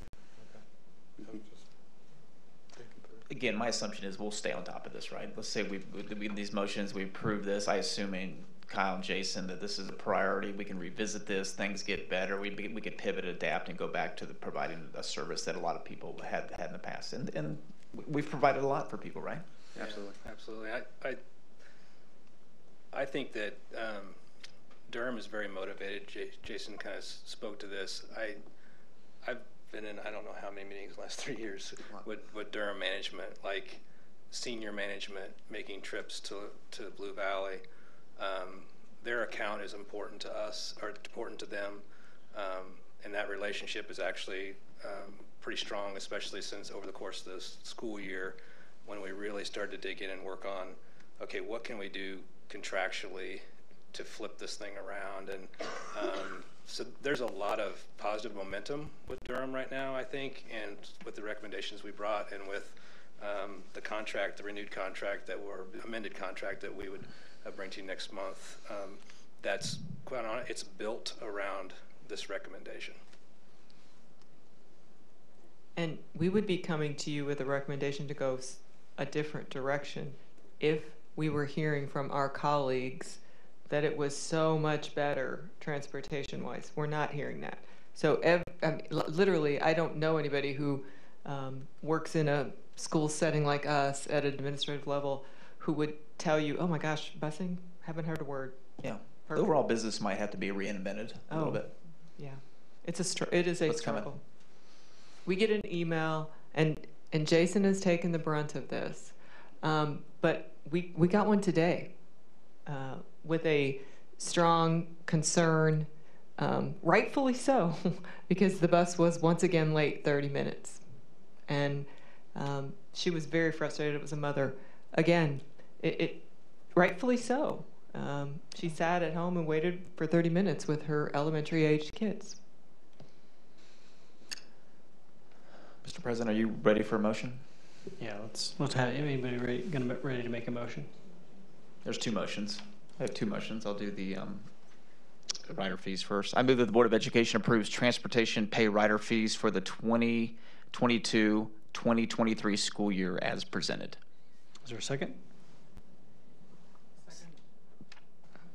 Uh, motion by Tom, uh, second by Gina. Any uh, additional discussion? Seeing none, all in favor, raise your right hand. All opposed, same sign. Motion passes oh. 7-0. I move that the Board of Education approves the recommendation to no longer provide pay rider transportation services to high school and middle school students who reside less than 1.5 miles from school, with the exception of students qualifying for special education transportation services.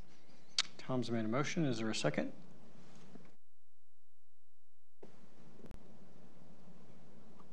I'll second. Motion by Tom, second by Amy. Any discussion on this motion? Seeing none, all in favor, raise your right hand. Um, all opposed, same sign. Um, any abstentions? So motion passes four to one.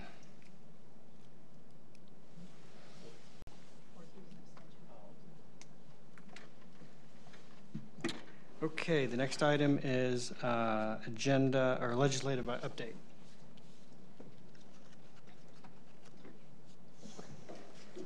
Okay. Um, This is a legislative update. We said we would do this each month that the, they're in session in Topeka. And this is the legislative calendar. I highlighted in red right now, um, our legislators are on a break. Um, So April 2nd through the 24th. Uh, they are back in their districts and on a break.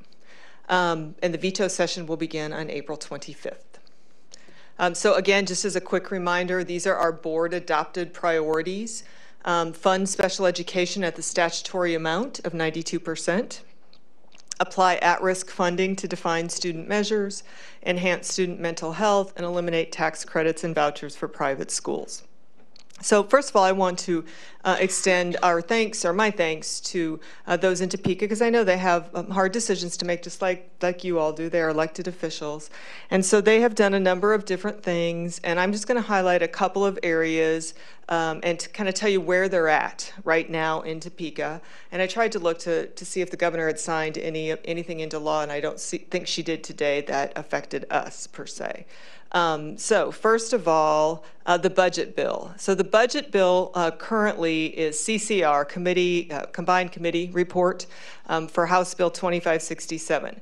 This did not so, this did not pass. So um, they had a House bill and they had a Senate bill and they weren't the same. So you have a conference committee come together um, and work, and they did not solve that during the veto session. So they'll need the conference committee to iron out a common bill, and they'll take it up in the veto session.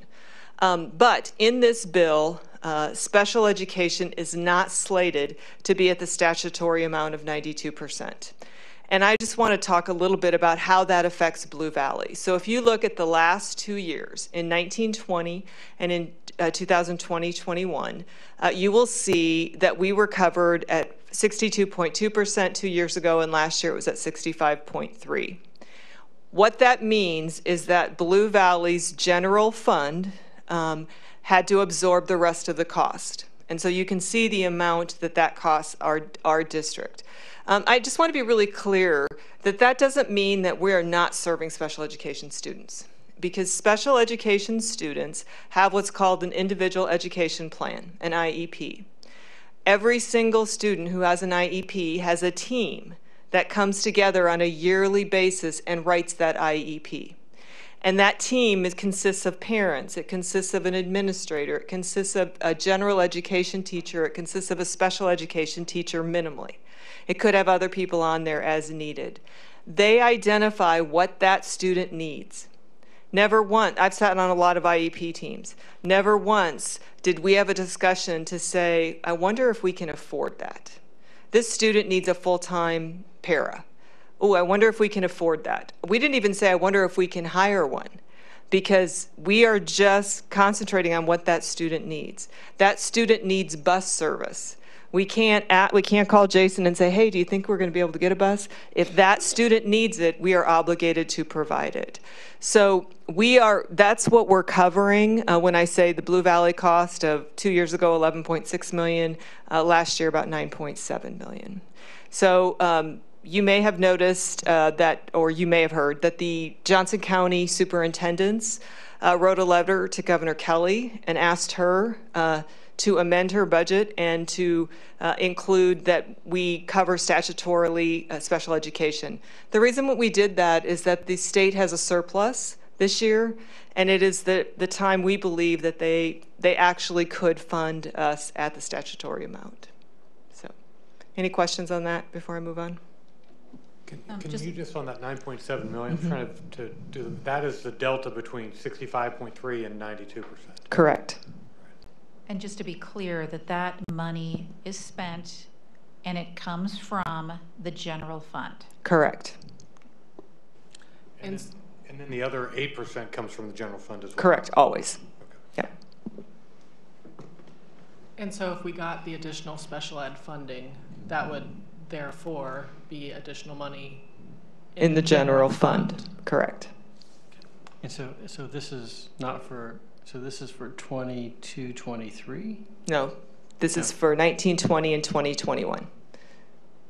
It's for the last two years because 20, we're not done with this year yet. You're saying the governor's budget.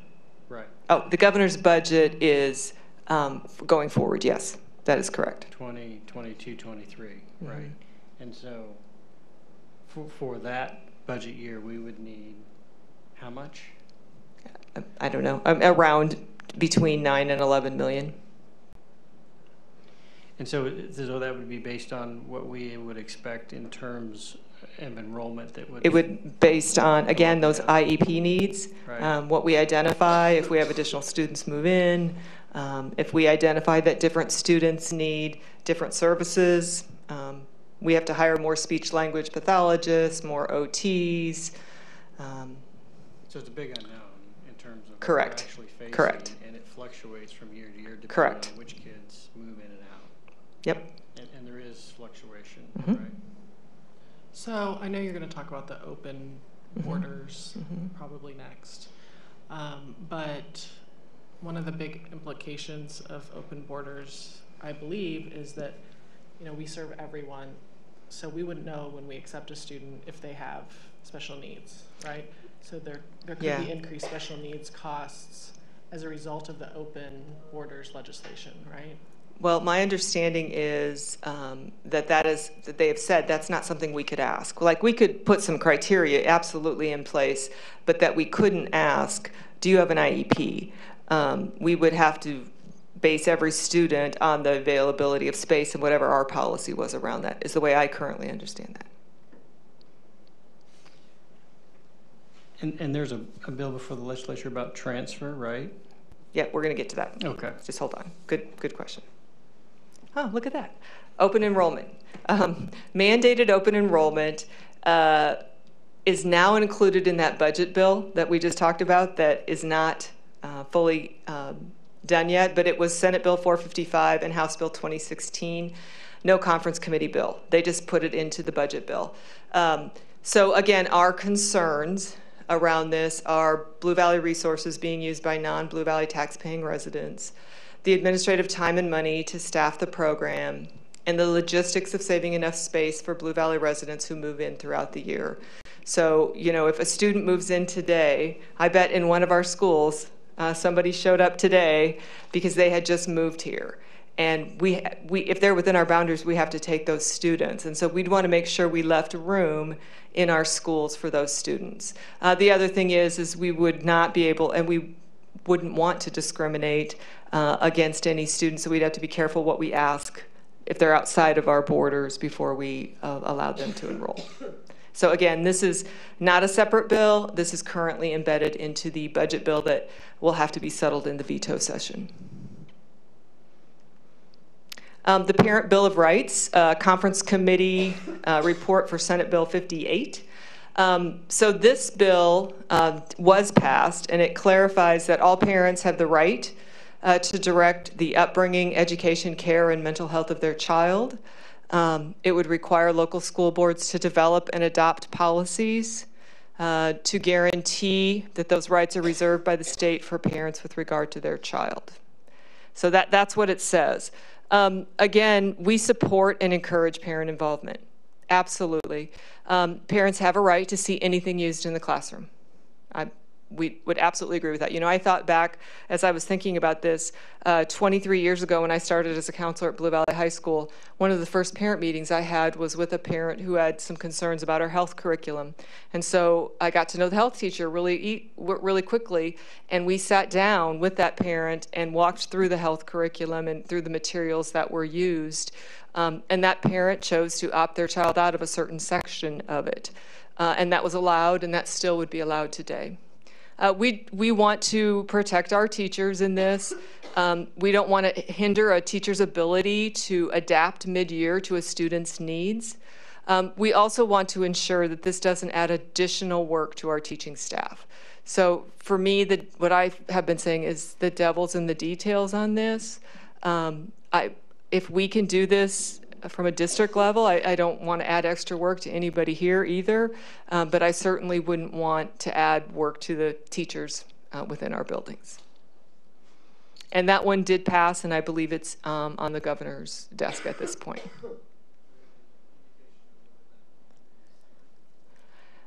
Yeah, I don't know. That's why I was I was looking to see if anything had gotten signed today. I don't think it did.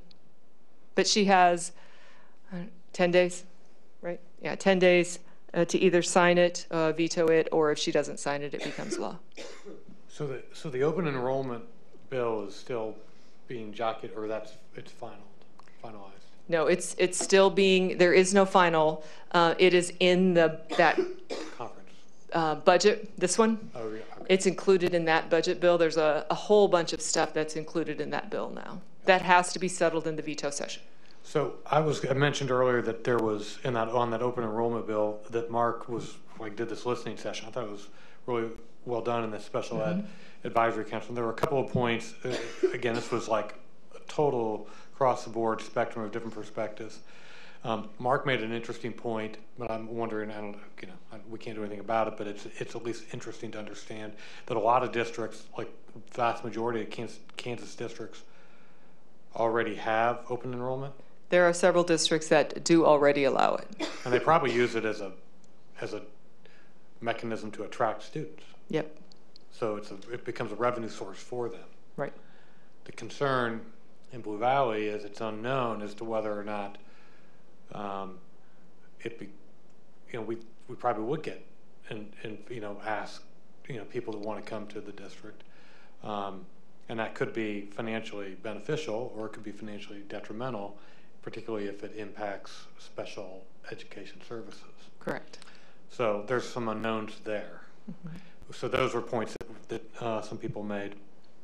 Um, there was a little bit of discussion of, around how the, how this would be would become a burden on Blue Valley taxpayers if the students coming are bringing, basically the financing follows those Mhm. students. But I, the way I answered, the- Mark asked me to answer that, I said, beyond the special ed versus general ed um, issue, that it, it could be based on the way the capital budgets are Mhm. financed. So maybe you could address that, Jess. Right, so um, residents are the ones who finance our bonds. Uh, Residents are the ones who, um, uh, correct, give us the capital outlay resources to maintain our buildings. Um, So that, those would, the base state aid would come from, if, if they're here by September 20th, I might add. Right, uh, if they're here by September 20th, the base state aid would come from the state, that And is ho- and correct. how much is the base state aid? Uh, 47-ish, 4,700. Yeah, 4,700, 4,800 um, is the base state aid for, That's- So that's all that would come? for, uh, for one student. And then if there were any weightings, so if they were in special education, we might get some weightings there, but we know it's not at 100%. We know that um, we have to pay the excess. Um, If they're career technical education weightings.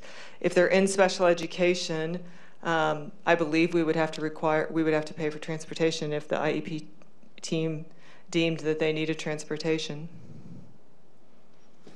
So that, those were all the points that uh, I, I- at least I wanted to highlight. Yep. That um, came out of it. So, you know, um, but, but by and large, the sentiment was, I'm like, almost across from conservative, liberal, non-political, et cetera, that weren't really in favor of this. And that the other thing is, is that like, we're aware of it, but, you know, maybe most of the patrons in the district aren't. They're not. And can you, I, I, I'm afraid if this went through the aftermath or folks kind of cluing into what was going on would be tremendous, especially, especially everything you're talking about. And then you start tying in athletics and activities and recruiting and here, you know, here comes your child. They're going to be a senior somewhere and great expectations. And here comes 10 kids to, to jump in that are not part of the district and et cetera and things like that. So the aftermath of this could be huge if this thing gets through. For everything you said and what I just said and several other angles, it's going to be messy from a recruiting and other standpoint as well. Yeah, I- I think, go ahead, sir. So also, would we be then required to accept students up to X level of capacity or percent of capacity? My understanding is, is that, what- well, again, it's not finalized yet, but what I have seen is that the district would set, so you all, uh, we would sit and we would um, talk about a policy and you would set that policy. Uh, So again, I don't know, they haven't finalized it, but that's my understanding. The other thing, um, hopefully, if this does pass, um, they've given us some time to put those policies in place. So, uh, in, in conjunction with all the other comments, one of the other pieces I don't, I don't think we've hit, and if we did, then I apologize. But if the um, number of kids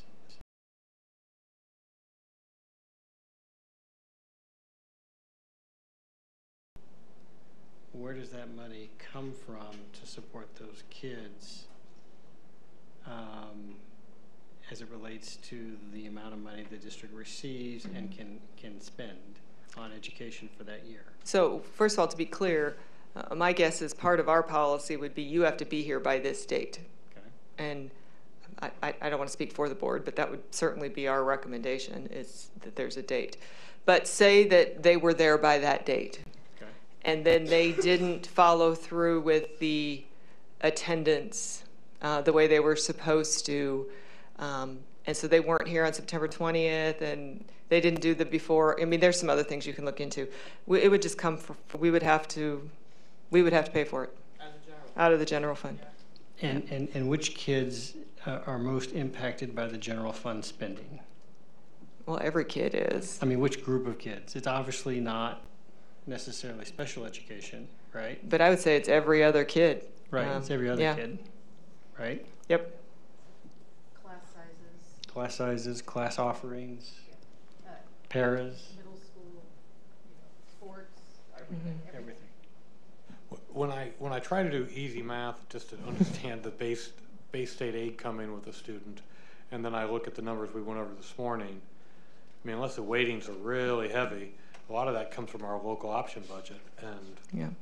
We did the math right here on the. yeah. So it just f- feels like even, even if you no- didn't have any special ed, p- people needing special ed services, it would still be uh, a deficit. Yeah. I, yeah, I agree. It sounds like it's a, a suburban versus other parts of the state issue. I really think that's the way it's shaping up. Would- Would that create some potential unsettling during the school year from a budget standpoint? Would we have to do cuts, for an example?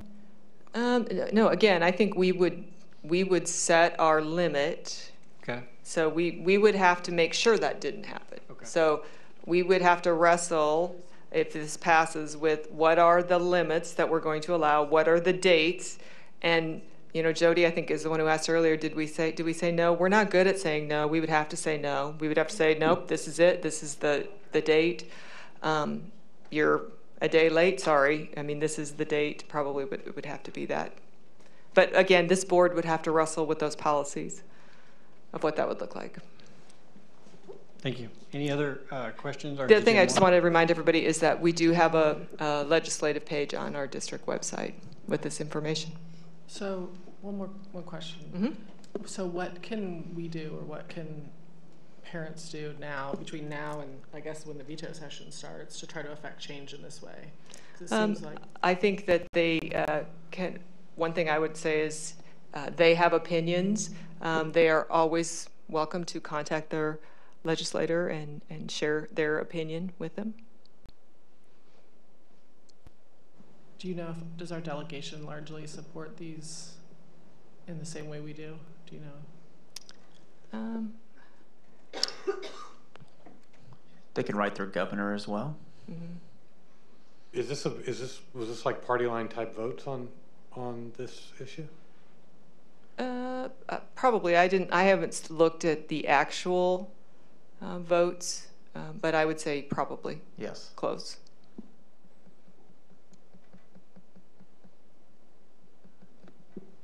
Anything else? No. Any other questions? Thank you. Thank you. Okay. Thank you, Dr. Merrigan. Okay. Uh, we are now to the end of our meeting. Do I have a motion? I move that the April 11th regular Board of Education meeting be adjourned. Second? Second. Discussion? Seeing no discussion, all in favor raise your right hand. All opposed, same sign. Motion passes 7 0.